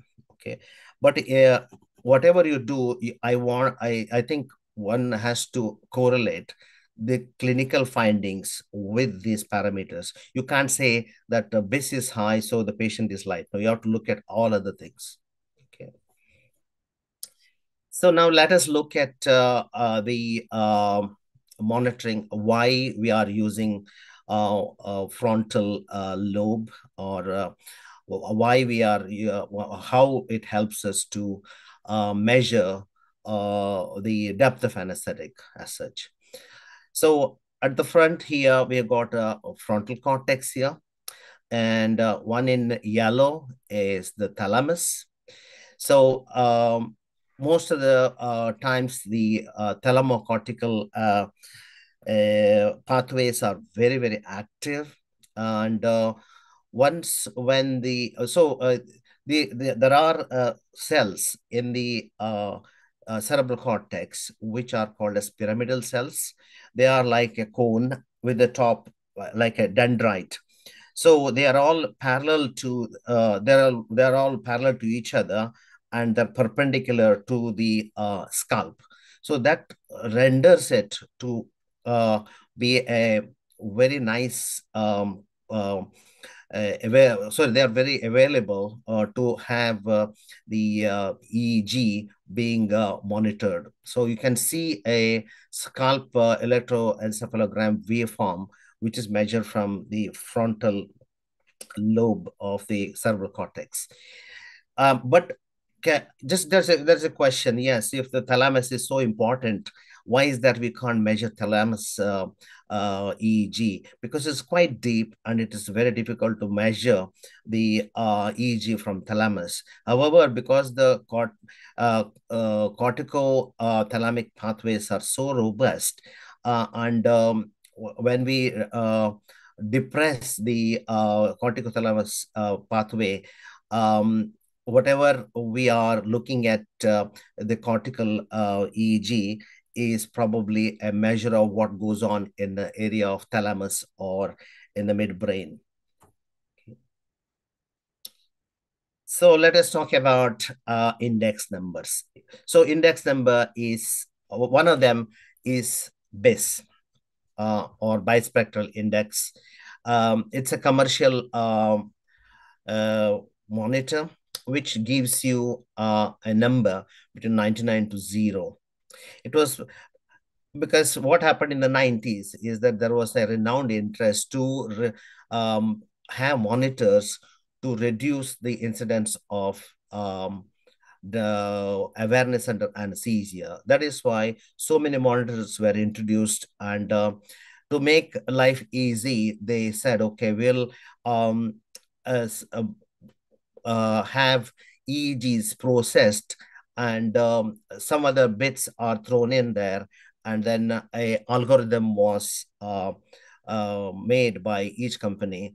And this and they did some studies and showed that if it is the basis between 40 and 60 probably it is within the clinical range. Uh, it's not exact science again okay? So there are at least 10 monitors that are available uh, currently which do the similar job like this. Uh, I have known about Entropy and SedLine or Masimo uh, monitor. Their anesthesia range is between 20 to 50. There is Narcomed, etc. So what is the advantage of uh, having an index number or a BIS-like wire numbers? It's a simple numerical value. So you can say, okay, the base is below 40, uh, oh, sorry, BIS is about 40 and below 60, we are in the anesthetic range. Uh, but what are the disadvantages? So you just imagine yourself looking at the heart rate, the number, and saying that, okay, uh, this is the heart rate, but you have never looked at the rhythm, heart uh, uh, ECG rhythm. So that it's the same thing. So it's better to look at the waveform, EEG waveform, understand what is happening, and then look at the number. Okay. because the, the base numbers can be affected by the EMG muscle movements, artifacts uh, due to external sources such as cautery, electrical fields, physiological pathology, and um, like hypotension, etc., uh, biological age. Uh, and it's not that as soon as you measure uh, the EEG, it is uh, right on time. So there is about a 30 seconds lag between the measurement of e, um, base and it is dis displaying on the monitor. And uh, you can't say that, you know, because people are different. Uh, people have got, um, uh, and there are various types of anesthetic uh, uh, that you can do with different type of agents. Uh, so each of these will show different morphology of EEG, and we can't use only one index or one algorithm for all these. Uh, so this is the disadvantage. For example, uh, if you use ketamine, uh, nitrous oxide, and uh, even ephedrine, it may show higher BIS even when the patient is anesthetized. Um, and also dexmedetomidine. Um, if you look at the waveform, uh, you may think that, oh, the, this patient or the BIS, this may, patient is completely uh, anesthetized, but you can easily wake them up. So just a few words about awareness center anesthesia. So EEG index, uh, indexes, uh, uh, as I was talking to you, became popular with a view to prevent awareness. But there's a difference between awareness and recall because some patients may be aware, but will they recall what happened? That's much lower than just awareness. Um, they, they have done a lot of experiments with what's called as isolated arm technique because uh, you um, isolate the arm by with the blood pressure cuff and uh, uh, anesthetize the patient. And you would have instructed the patient beforehand as to how they have to respond if they hear you. And uh, they would do that one even under anesthetic but they won't remember what uh, they have um, done uh, when they were asked to do certain movements uh, under anesthetic. So there is no recall. Okay so what is the incidence of uh, awareness under anesthesia so it may be between 0.005 to 0.1% depending on the study that you look at. But in general, if you look at all the papers, um, they quote a figure of about one in a thousand, which is 0.01% to, um, sorry, 0.1% to 0.2%. Um, but uh, the incidence is known to be more in uh, pediatric patients, obstetric patients, cardiac patients, and uh, uh more in female patients when compared to uh, male patients. Okay. Um, in the UK, there is um, we got Royal College of Anaesthetists, and they do um, audits, which is National Audit Project, short for NAP. And uh, uh, there are various uh, um, NAP studies, sorry, audits have been done. And the NAP 5 was done to address the question of the depth of anesthesia. And their findings are that um, they called it AGA, which is Accidental Awareness Under General Anesthesia. So there were 2.8 million records, uh, patient records were looked at, and out of which there were 147 cases of uh, awareness under general anesthesia. So the estimation was one in 19,000 or 0.005%. And if you use the TIVA, the incidence was slightly higher, um, one in 14,000 and the incidence, if you used uh, neuromuscular blockers, then the incidence was even higher, one in 8,200. Um, and uh, in uh, patients who are undergoing uh, uh, cesarean sections under general anesthetic, it was one in uh, 670. So, but the, most of the um, awareness that they have quoted in NAP5 where for less, less, five minutes or less. But 50% of those suffered from uh, psychological consequences. Okay. One third of the, uh, the this is interesting because uh, one third of these cases happened during the maintenance phase. That meant two thirds happened at induction and emergence. Um, so um, because we may have patients who are obese, um, who may have had um, um airway difficulty, etc., etc., and uh, patients uh, who came for emergencies. All these patients are vulnerable for um, awareness under anesthesia, especially at uh, induction. Okay. So uh, NAP uh, said that uh, processed EEG is recommended during anesthesia, especially if you are using TIVA and relaxants. But how about uh, use of uh, um, uh, depth of anesthesia monitoring of some kind, even for inhalation anesthetic? I think I'll talk about Association of Anesthesia Guidelines in a minute. Okay. So basically, there are various areas of brain which are depressed um, uh, during anesthetic and uh, uh, or um, even otherwise what what constitutes the area of interest with each of the modalities that are on the left side here.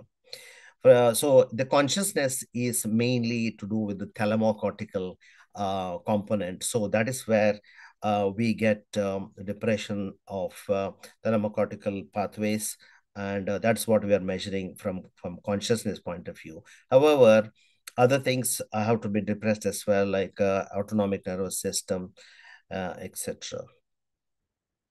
So what happens if you had uh, too deep anesthesia? Okay. And uh, when you have too deep anesthesia, as I was showing you earlier on, you can get uh, anesthesia-induced burst suppression. The EEG becomes almost flat, or you may have a little burst of uh, uh, waves there. Uh, elderly patients are mo oh, mostly vulnerable for this. Um, but what can it do? It can cause or it can increase the incidence of postoperative delirium. And in uh, there are some papers which also say that cognitive decline can happen, but there is not much proof for the uh, POCD. However, uh, lots and lots of papers have said that uh, postoperative delirium uh, can get worse. And also it can wor worsen morbidity and mortality. So giving too deep anesthesia to prevent uh, anything uh, may also may not be a good idea. Um, so I have uh, seen that because we I do a lot of patients uh, under uh, uh, TIVA anesthetic, and um, I've always used um, uh, BIS or uh, uh, mostly, and um, that has helped me to um, take the imagination out of doing anesthesia. So um, other thing is also that uh, I'm probably using much less of the anesthetic agents because when we don't use uh, any of the um, EEG monitoring, we tend to overdose the patient with anesthesia agents. So this is what I was talking about. Uh, Association of Anesthetists brought out uh, guidelines uh, for monitoring during anesthesia. And uh, this was the latest edition in 2021. And what they have recommended is that one should use processed EEG um, uh, during uh, anesthetic especially if you're using TIVA along with the neuromuscular blockade.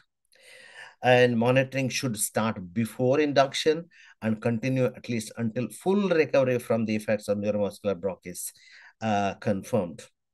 Also, there is a role for uh, processed EEG when uh, in patients who are uh, getting or receiving inhalation general anesthesia.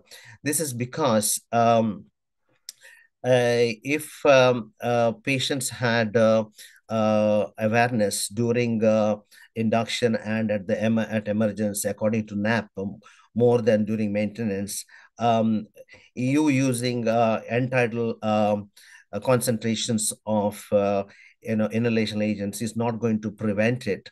So i think um, association of anesthesiologists certainly uh, recommends that we should use uh, uh, um, EEG monitoring uh, for all type of anesthetics.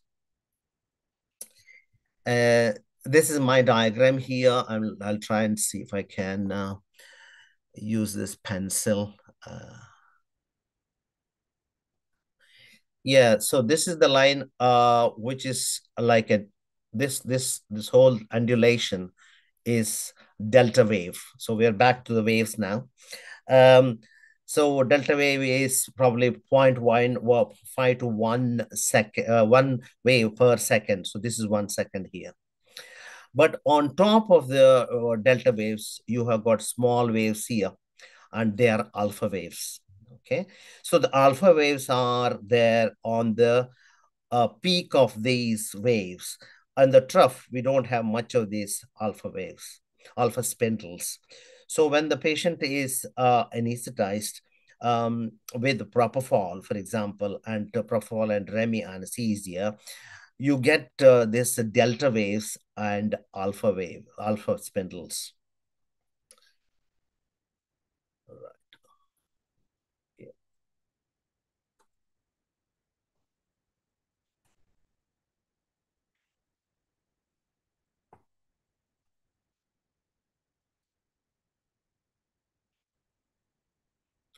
Yeah, so this uh, uh, diagram here or this picture shows uh, that um, the EEG is being measured here, but it's at a, a higher speed of probably about 6.25 milliseconds. So uh, on on the this is the y-axis, which is uh, time, and on the x-axis is uh, sorry, uh, on the horizontal axis is the time, and in the vertical axis you have uh, the uh, waveform, which is um, uh, the amplitude is measured uh, the in uh, um, measured there actually, yeah. And if you look at this one, this is like a delta wave, which is in red.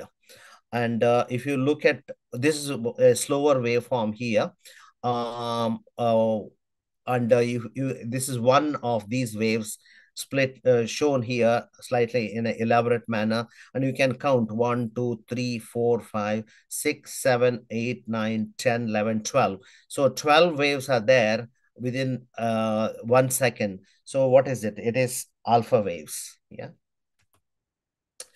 So other day uh, when we were anesthetizing one patient, uh, I just looked, uh, we had uh, uh, given propofol uh, for induction and the BIS monitor showed that the patient had a lower base of about 14. Um, so you can see this is the EEG waveform, but it is showing now the ECG. So you this you can you can see sometimes uh, this type of pattern. Um, and uh, on the other side of that, uh, I can uh, point to point to you a couple of things here. Um, there is something called as SQI, which meant that signal quality index, because it measures the quality of this and uh, say this SQI is about 100. That means it's a good quality um, waveform and there is EMG because um, uh, when, if you put the uh, um, uh, stickers on the forehead, it can measure uh, the uh, movements of the frontalis muscle, uh, which then is displayed as EMG here. So EMG under a good anesthetic is about 20 to 25, 26, etc. But if EMG is in its 40s, that, that means probably the muscle uh, is active and probably um, there is some interference from the muscle movements. So I'll just slightly uh, change gear here uh, and uh, get into what is called as power spectrogram. So you, you anesthetize the patient and you will have, uh, uh, say, um, al alpha wave, alpha spindles over delta waves. Uh, but what we have to do is we can't keep on seeing this one all the time. But we need a trend of what is going on with the, these waveforms. So uh, what they've cleverly done is uh, to have uh, um, a mathematical model of uh, this. And um, there are three things here. One is time on the x-axis. And then on the y-axis, you have the uh, um, uh, amplitude, which is measured in microvolts. And also you have got the each wave, which has got its own frequency. So it's a 3D uh, construction, but when you look at it, it's in 2D here. Okay, so so if the amplitude is higher, uh, then the power on the right side is uh, higher. Okay, I'll try and uh, so th this is the uh, delta wave and this is the alpha wave here. And when it is constructed uh, in a 3D fa fashion, you get this kind of picture. It is almost like you can imagine yourself looking at all the waveforms or uh, in a row, hundreds and thousands of them, uh, but they are making like a um, uh, mountains and valleys, and you are looking at these mountains from the top. Um, and uh, that's the picture you will see here as a spectrogram. So I, in here, I'll explain that again to you. So there is uh, time on the x-axis here, and on the vertical axis, you have got frequency. This frequency is of each waves like it may be an alpha wave or a delta wave as i showed you earlier on there are delta waves on top of that one you got alpha oscillations and on the right side you can see that depending on what type of waveform is predominant and high power it's called as power and uh, that is uh, displayed in a, a, color diagram here uh, and it's measured in decibels. So if there if the power is high then it is uh, shown in red. If the power is low, then it is shown in blue. In this uh, spectrogram here, you can see the gamma waves are at the top actually. Gamma waves, as you can, as you remember from what I was, uh, what I've been saying, very, very uh, high in frequency in awake patient, you get gamma waves. And uh, when, when the patient starts to go to sleep, uh, then you can get high beta and then low beta. And uh, alpha uh, this is the alpha wave here, uh, which is in red on the top, and the bottom red is the delta wave. So you can also have some theta waves in between. So this is a, I'll just uh, go to the next slide. So this is what I was monitoring the, the day when I was uh, um, uh, or doing anesthetic for one of the thyroid patients. Um, after induction, uh, it is like this, this is the alpha pattern, alpha wave, and at the bottom there is delta wave and that is like a train track and this is typical for um, uh, remifentanil and propofol uh, anesthesia spectrogram. Our BIS is 48 and you can see the raw, raw EEG waveform here. Uh, I think it's showing a, a wavy form, that's the delta wave. On top of that one, there are alpha spindles. The alpha spindles are there. This is alpha spindles and this is uh, 25 millimeters uh, per second speed. So uh, one uh, uh, seconds is one block actually here. So 8 to 12 waves uh, in a second. So propofol and remifentanil are TCI, each anesthetic you, each of these anesthetics have their own fingerprint. So for propofol and remifentanil, you get alpha delta pattern. So sorry, I'll just try and uh, rub this off.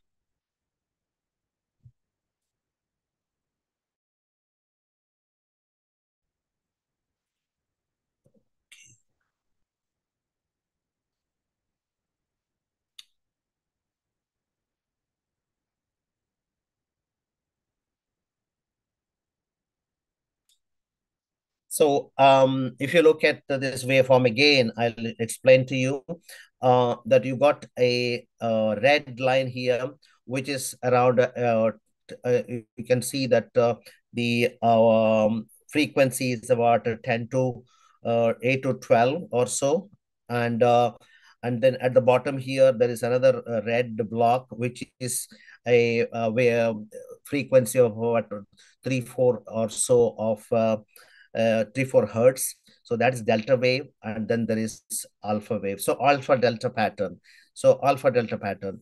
Um, so if you are uh, anesthetizing a patient with the sevoflurane uh, you can get still get alpha delta pattern but uh, the uh, later on the theta uh, becomes stronger.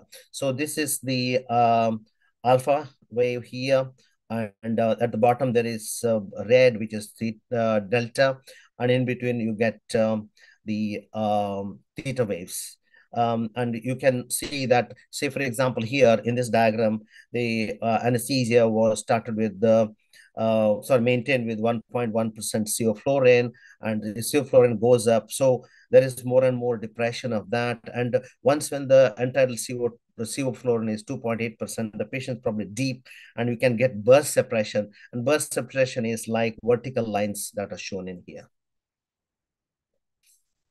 What about ketamine?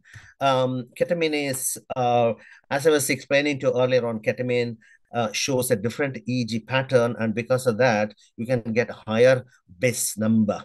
So uh, it shows alternating delta and gamma oscillation. As you know, gamma means um, there is um, increased frequency about 30, 35, 40 like that. So that is why it is more in blue here. Uh, and um, also there is a bit of delta here at the bottom. So this looks much different to the um, alpha delta pattern that you've seen for uh, uh, anesthesia with the propofol or even uh, sevoflurane. What about dexmedetomidine? Dexmedetomidine is one of, as you know, it's a one of the alpha two agonists that um, uh, you may we use in uh, ICU mostly. I have not had uh, much uh, chance of using it uh, in uh, anesthesia, but it is uh, very good for um, using for procedural sedation. Um, so it actually, if you look at the waveforms, it resembles stage two of slow wave sleep.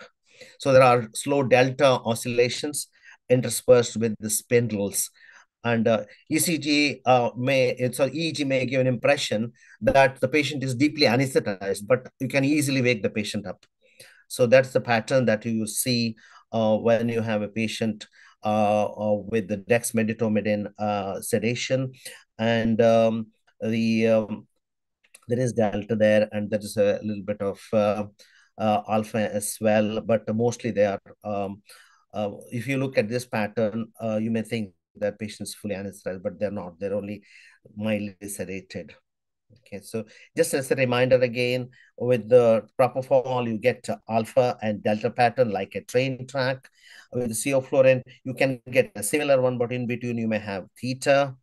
And uh, again, ketamine, uh, it is more uh, of uh, uh, gamma uh, and a little bit of delta there, definitely different looking to propofol and uh, sevoflurane, uh, dexmedetomidine, again, um, this is the type of pattern you get. So all I want to say is that um, every uh, one of these anesthetics you look at uh, you have to look at the spectrogram. Otherwise just looking at BIS numbers or even the waveforms may or may not be uh, giving you all the information.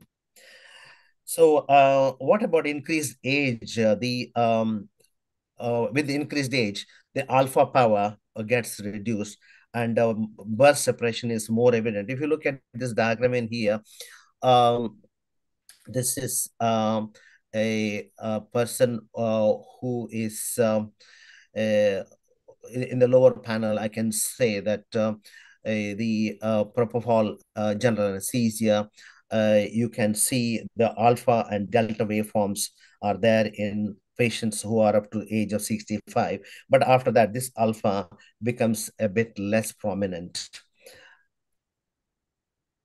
So another thing, uh, concept that I want to introduce here, it's called a spectral edge frequency, um, because uh, all the uh, um, spectrogram that we have seen so far, the it is um, uh, measured with the power at the bottom there. So whatever uh, power of uh, the spectral edge, uh, sorry, spectral spectrogram is there. And if you, uh, there are two lines that you can draw there. One which has got uh, spectral power 95% and then 50%. So the spectral edge frequency is a frequency below which 95% of the power is present in the spectrogram and it is closely related to alpha wave uh, spindles in one second. So about uh, say about uh, the alpha spindles are about 10 to 12, um, our spectral edge is around 12 or 13. And uh, it starts to go up as the patient wakes up. I'll just uh, show that again on this uh, spectrogram, which you have already seen with propofol anesthetic, which is alpha here and delta here. And can you see this white line?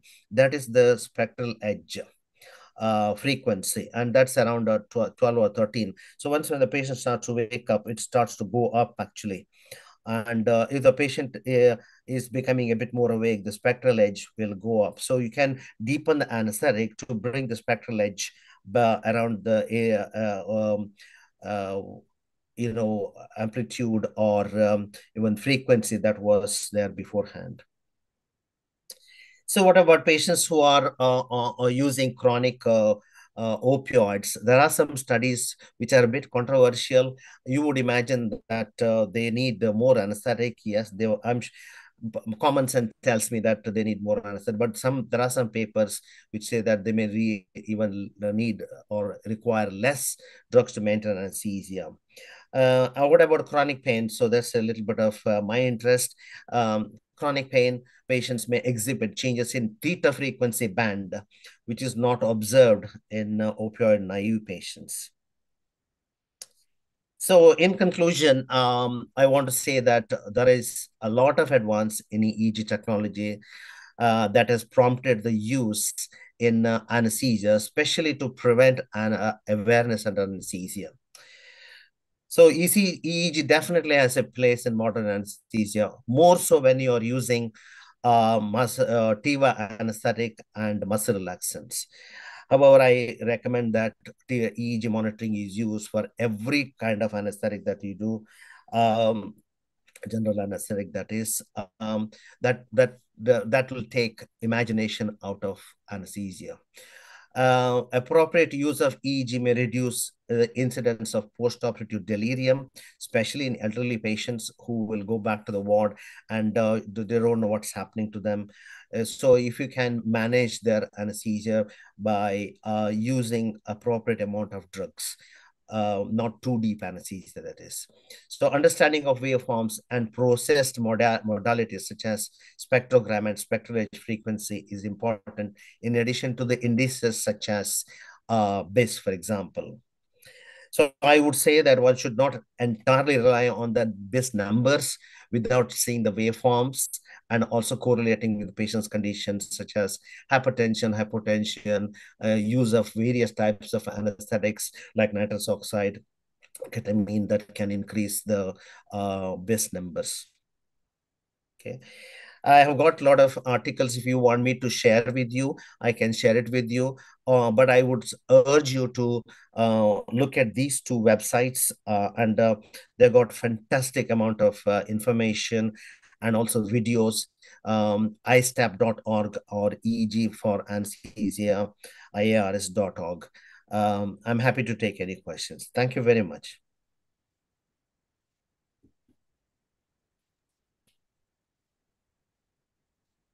Thank you, Vaishali. Yeah, yeah, yeah. I'm uh, here only. I'll try. I'll, shall I stop sharing? Yeah. Yeah. No, it's okay. Uh, thank you, Dr. Vinod. Excellent presentation and detailed explanation about process EEG. I've been after you for so many months. Very good. Uh, so I will open this session for queries and questions. But before that, I have uh, uh, one question. Can you go on your slides, please? My slide? Yes, please. Or I can, uh, yeah, yes. In uh, slide number 25, 26. Right. Let me just go back again, share the screen. Yeah, please. 25, is it? Mm-hmm. No, same, same, these two. Yeah. Yeah. Sorry, is it not displaying? It'll come. Okay, it's, uh, it's displaying something different. Let me let me just go back. 25, you said, isn't it? Hmm, this one, yeah. Yeah, that one. Yeah, yeah, yeah. Yeah, okay, So yeah. in this one, the first uh, Hmm. slide, uh, this D figure. Yeah, yeah, yeah. So Huh. So can you can you tell it is it looks like spectral Doppler. So like uh, how so do colors correlate with waveforms? yeah, yeah. Uh, uh, so basically, this is a spectrogram. Okay. So there are, it's a 3D model. On Huh. the x-axis here is the time 0, 5, 10, 15, 20, like that. and on the y-axis, uh, there should be a frequency, okay? And Yes. then you got power. So, um, so what happens? So if you if you imagine that there are wave waves, multiple number of waves from here to here going all the time, and they are stacked next to each other. And uh, Okay. when when the when the waveform, say for example, you're using propofol and uh, C- uh, uh, Remi Mhm. anesthesia, and you will get delta waves and alpha waves, delta waves, alpha waves, and there are hundreds of them lined o- o- o- from left to right because it's the time, isn't it? And then uh, you can uh, imagine some mountains and valleys, and you can look at that from the top. And then if you tilt that one, imagine you're taking a picture of that, Hmm. and then you're looking at that picture. So that is what the spectrogram looks like. It is a 2D uh, vision of a 3D model. Oh, okay. It's a, it's a little bit of a difficult concept to, to get into our head first, but once when you get it, you get it right. Uh, that's what happened to me actually. So uh, once when you do that one on the right side here, so you got time in minutes and the frequency on on the right side there is uh power. So uh, if you look at the bottom here, there is there is delta there, and then there is Hmm. alpha, and you know this white line here. That is Huh. Uh, signal, uh, sorry, uh, spectral edge uh, frequency of 95%. And this white line here is the spectral edge frequency 50%. So what it is, is the, the power is below that line, actually, that white line. 95% of the power is below that line. So that is one of the things that you can look at also. So the more we use uh, these um, spectrograms, more we understand them, and the more we uh, can look at like it's it's it's like doing ultrasound or it's like like a pattern rec- recognition, you know. So uh, pattern, yes. You want me to show the next diagram also? Means, huh, Yeah. huh, huh.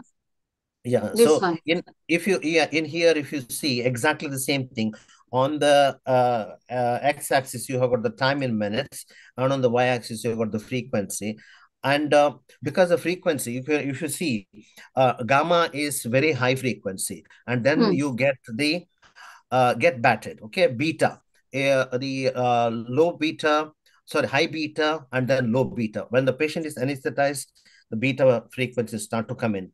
And then you get uh, alpha and then uh, uh, delta del so if you look at the waveforms you will get if, you- if you look at the uh, raw eeg it's a waveform like a big wave. So they are all delta waves. And on top of these delta waves you will see it's like a sea waves on top of which there are small small spikes. So Huh, those spikes are those spikes are or they're called spindles and those spindles are alpha waves. Huh. so when you construct uh, this picture into a time fashion the way in a 3D model, it's a mathematical model actually, Huh, huh. and uh, you'll get a diagram like this, and that is the spectrogram. So typically here you see a, a red band on the top, and that's the alpha waves. They're all alpha waves. And at the bottom here, you will see another red band, which is the delta wave. So if you look at anesthesia, if you do anesthesia with the um, sevoflurane anesthesia or uh, propofol tiva, propofol remitiva, you'll get this uh, pattern. Uh, but with the uh, CO, you can also get uh, theta waves in between, like like bluish line. Okay. So this means the patient is fully anesthetized. If you see. Yeah, this this patient is fully anesthetized. And Um, if you and if if yeah, if you get full uh, this uh, half of the screen is occupied by blue color. What does I know that that's mean? this is this is this is because the patient is waking up at the end on this one. No, half of the screen is uh, occupied by blue color. That means patient is uh, awake, No, no, no, no, getting no, awake. No. no, no, no, no, no. That because the power is below that. The power is below the Okay, okay, okay. yeah. 95% of the power is see Huh. here, if you see the 95% of the waveforms that you see are below this line. Uh, Yes. this, the, the, yeah, it, it doesn't mean to say that uh, the patient is awake because there is some blue thing there. No, no. Yeah, the, the the predominant ones are alpha Alpha and and delta. Yeah, yeah. okay. Okay. Thank you. Uh, Thank you. Dr. Does Varsha, anyone have? yeah, yeah, Dr. Kadu here. Yeah, Yeah. yeah. Uh, I have one question for Dr. Vinod. Hmm. Hi, Dr. Vinod. Hi, hi. Yeah, it's a yeah, it's a great presentation. Uh, many of the things has been uh, new to us. Uh, we have been using a BIS monitor in our hospital uh, Yeah. regularly. Uh, Hmm. uh, the, the the- the few things which comes into my mind that uh, we have been using a conscious sedation also, uh, what we call Yeah. a procedural sedation. Yeah, yeah, So yeah, yeah. it's not not hard. So what will be the use of this BIS or a process EEG in giving a process, uh, conscious sedation in the areas outside the OT, like MRI, endoscopy, and a bronchoscopy or something like that? Do you Yeah. use a process EEG in that conscious sedation also, and what uh, will be your parameter or the index? Like in general anesthesia, we say it ranges from zero to hundred. So what should be the range for conscious procedural sedations? Yeah. Nilesh, thank you very much for your question. Um, it's a, a very relevant question. Um, what, what I'm saying is that uh, it depends on what drugs that you use for uh, sedation. Um, if you are using uh, propofol, for example, uh, on a TCI model, then you can use uh, uh, uh, monitor with the uh, the um, waveforms. But uh, the base number may or may not uh, mean much to you unless you know that the waveforms are good. Yeah. Um, but um, do you do you use base with um, what what sort of numbers you are looking at in your practice Uh, basically, uh, there have been a literatures uh, which has been mentioning the use of this in procedural sedations, Hmm. uh, but we have not been using. At our center, uh, for procedural sedation, uh, Hmm. outside OT, we are using uh, midazolam and fentanyl only. Hmm, hmm, Though hmm. we are trying to use dexmed as well. Uh, Yeah. uh, with propofol, we are not using that. We consider like a short general anesthesia or TUR totally. Hmm. So outside operation theater uh, areas, peripheral area, uh, I ju- just uh, want to know about the use of this. How uh, clinically uh, implicable it will be, useful it will be to uh, monitor the stages of anesthesia. Like we categorize that as mild, moderate, and severe. Hmm. At the procedural sedation or conscious sedation, we grade uh, uh, stage it like an, uh, as per the Ramsay sedation score Hmm. Or in a moderate uh, scale of uh, uh, sedation. Hmm. So can BIS give a valuation on that, that Yeah. BIS index, this will be a procedural sedation and can be documented in future if we are using more in the peripheral areas? Yeah, yeah. Um, the, uh, very good question, and I think uh, you can use uh, BIS uh, and whatever uh, uh, you, uh, values that you may feel comfortable with, uh, you can enter them. But uh, believing only in a number is not something that I will go for. Um, Correct. because it is easy for us. I know, I understand that because you need a numerical value, isn't it, to say this is good or this is not not good. Correct, Yeah. correct. Hmm. Okay. But certainly it has values if you start using Yeah. it. Yeah, yeah. You, you got to be comfortable with it. And then uh, more and more uh, you use, uh, you will get uh, used to it. Uh, I have only used uh, this for, uh, say, propofol sedation. Other than that, I've not used it because I didn't find it much useful uh, Okay. to do. Uh, because I when I do the pain block list, etc., we give them uh, alfentanil. I don't, I don't, I don't see a need for uh, using uh, uh, based on those patients, you know. So uh, but I've never used it with the midazolam or any other drugs myself. No. Okay. okay. Thank you, Dr. Vinod. Yeah, Thanks thank for great uh, presentation. Thank you so much. Does anyone have any questions for Dr. Vinod? There are a lot of things on the chat here, isn't it? I don't know. I've not seen the chat. Yeah, Mm. yeah. Yeah, so uh, one, um, hello. Do- This is Dr. Anil Parak. Yeah.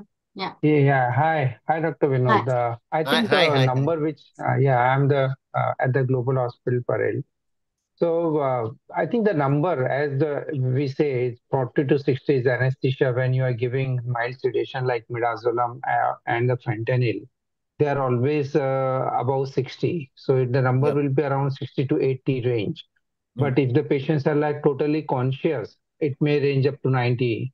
As you give propofol for procedural sedation outside, then the number may be little less than the 60 or maybe like uh, 60 to 70 range. So that's the procedural sedation. Uh, uh, the other thing with comment this I want to make for uh, stroke, where the, both the topics were very excellent and uh, particularly stroke now in India, in every four minutes, one patient dying with a stroke. So the number are so high in India. And uh, regarding the general versus uh, uh, uh, conscious sedation or the sedation or the MAC, it's very important that uh, it is important to have uh, the blood pressure maintenance, not the type of anesthesia which is important like sedation or uh, the hyper this uh, general anesthesia. But there are a lot of papers which says that the blood pressure maintenance is the single most important criteria for the stroke patients when they are coming for the uh, mechanical thrombectomy, and particularly. Uh, the centers which has the uh, neuroanesthesiologist or the patient, uh, the anesthesiologists who are trained to treat strokes. There, these are the center where the incidences or recovery are both equal, particularly in sedation as well as in general anesthesia. So the importance of blood pressure monitoring is more important than anything what you give whether general anesthesia, sedation, or this. So many centers they don't give general anesthesia. There are many centers who don't give general anesthesia. But as the doctor uh, Augustine has pointed out, it's a radiologist, uh, intervention radiologist who demands there may be new radiologist or somebody who are keen to do under general anesthesia. But yes, it takes longer time and all. At our center, we have a code white uh, activated as soon as the patient goes uh, into the reaches to emergency, and within like 15 minutes uh, or 20 minutes, we get the MRI, not the CT and perfusion images and the code is activated and within 24 25 to 45 minutes our uh, patient reaches to cath lab. So we have a nice setup at the global hospital parel. And uh, there are many cases as dr augustine has pointed out uh, that uh, the recovery is on table. And we had a lot of patients whom uh, we have seen the recovery at the, our table and it's very satisfying for the anesthesiologist as well as the intervention radiologist. Okay, thank you. Thank you, Dr. Parak. Uh, Dr. Albin, I have one query. Uh, can you give regional anesthesia to your patients uh, for stroke thrombectomy if they are very sick and unstable? No, if if if Regional they means the scalp block and uh, no no I, I don't think there is a role for scalp block in this. If they are if they are very sick, then we need to assess whether this procedure can do harm. Yeah. So it is not that uh, thrombectomy is the end of for everybody you should do thrombectomy. Somebody is with NYHA class four or uh-huh. severe aortic stenosis or cardiomyopathy where NYHA class four.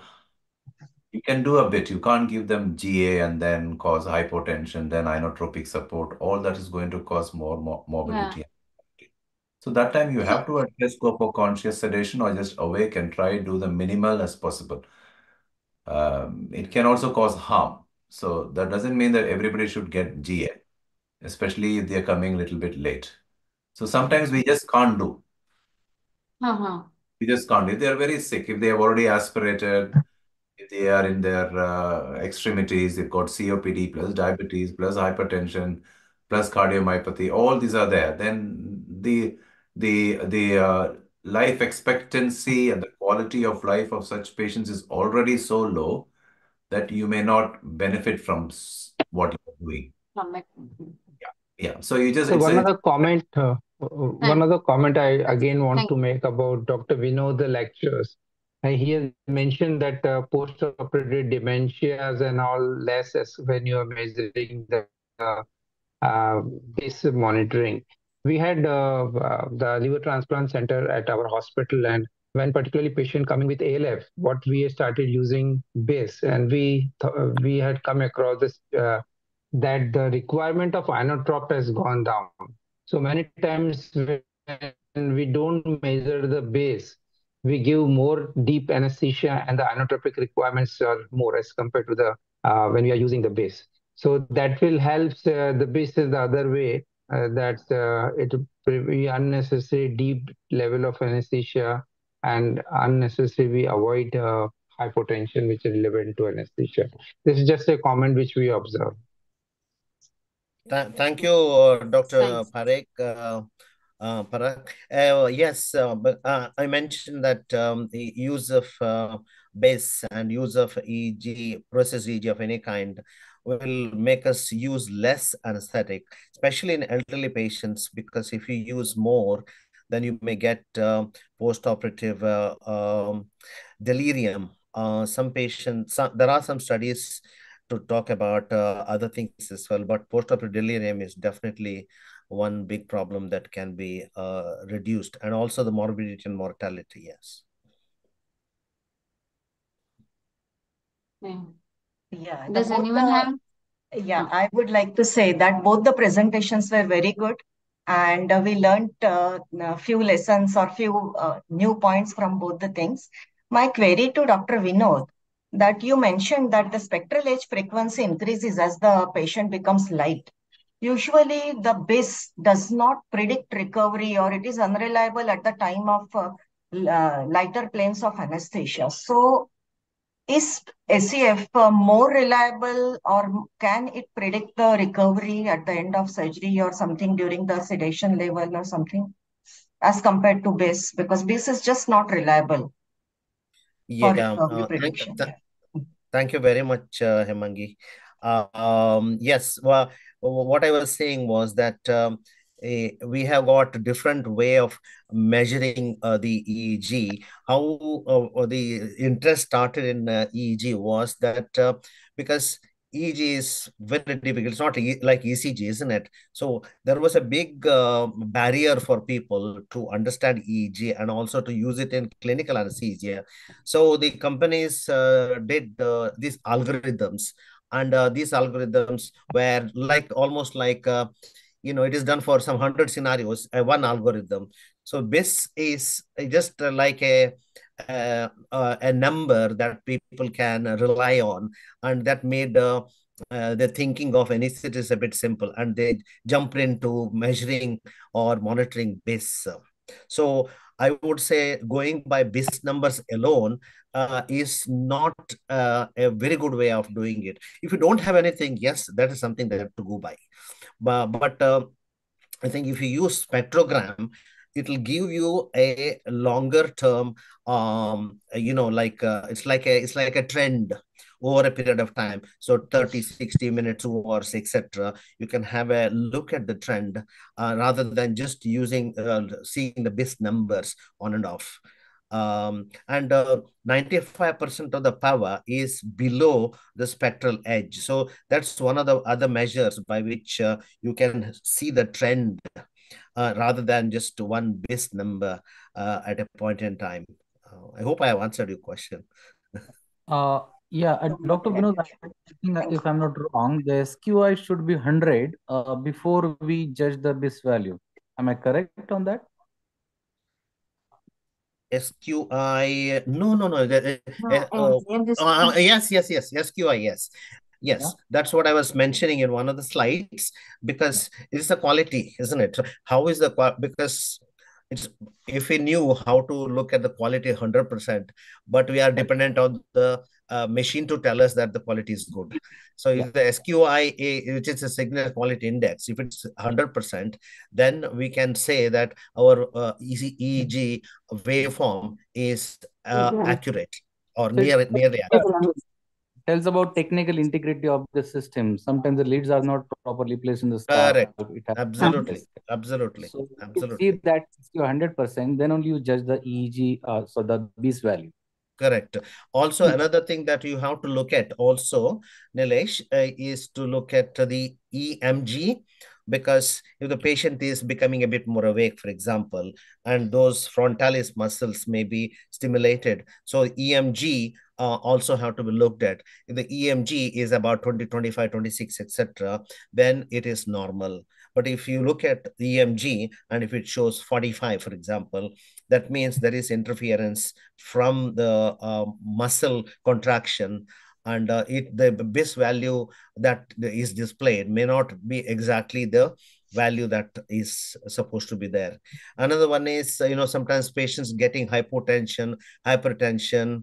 Uh, if you use ephedrine, for example, uh, you can get higher BIS value.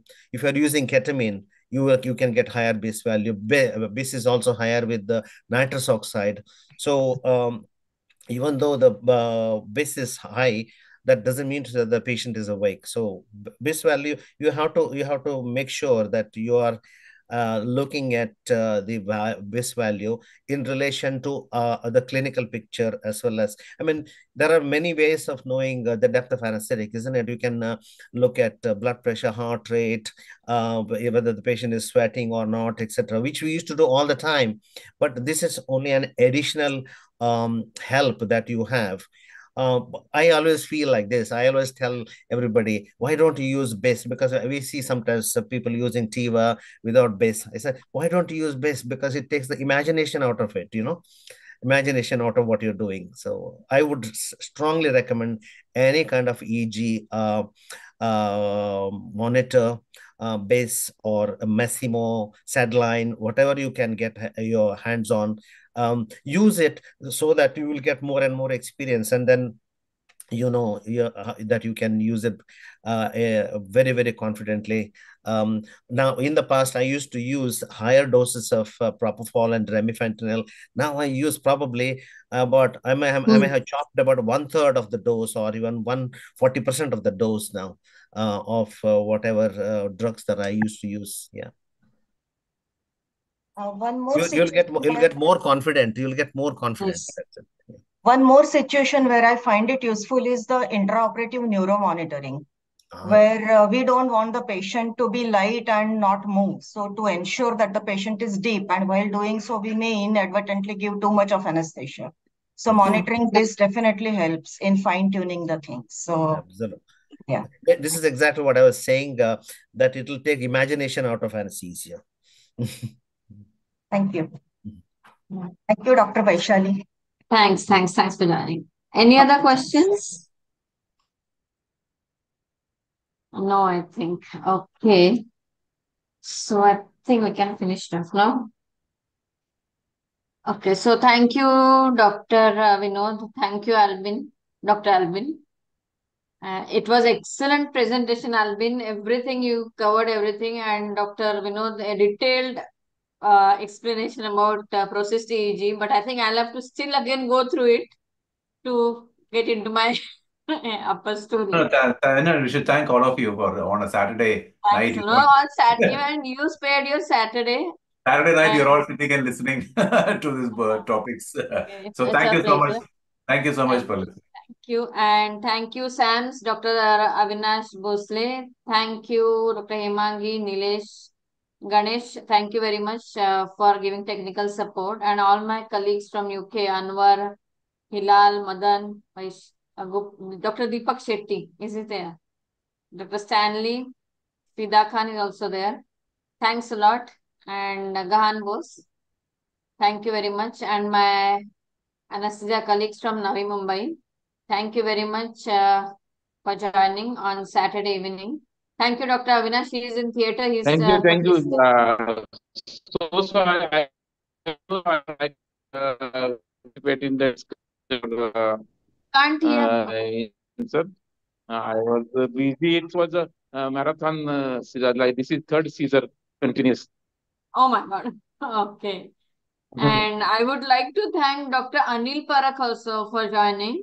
He is our senior most neuroanesthetist uh, in Mumbai Global Hospital. Uh, so I thank you everyone and have a good uh, Saturday evening. And I wish you all uh, Merry Christmas and Happy New Year. Okay. Thank you everyone. Good night. Thank you. Thank you. Good night. Bye-bye. Thank you. Thank you. Thank you. Bye. Bye. Bye, thank you. Thank you very much. Thank you, Vaishali. Thanks. Thanks. Bye. Bye. Bye. Bye, everybody. Bye. Thanks. Thank you. Thanks a lot. Thank you, Dr. Vaishali. What great presentation. Thank you so much. Bye.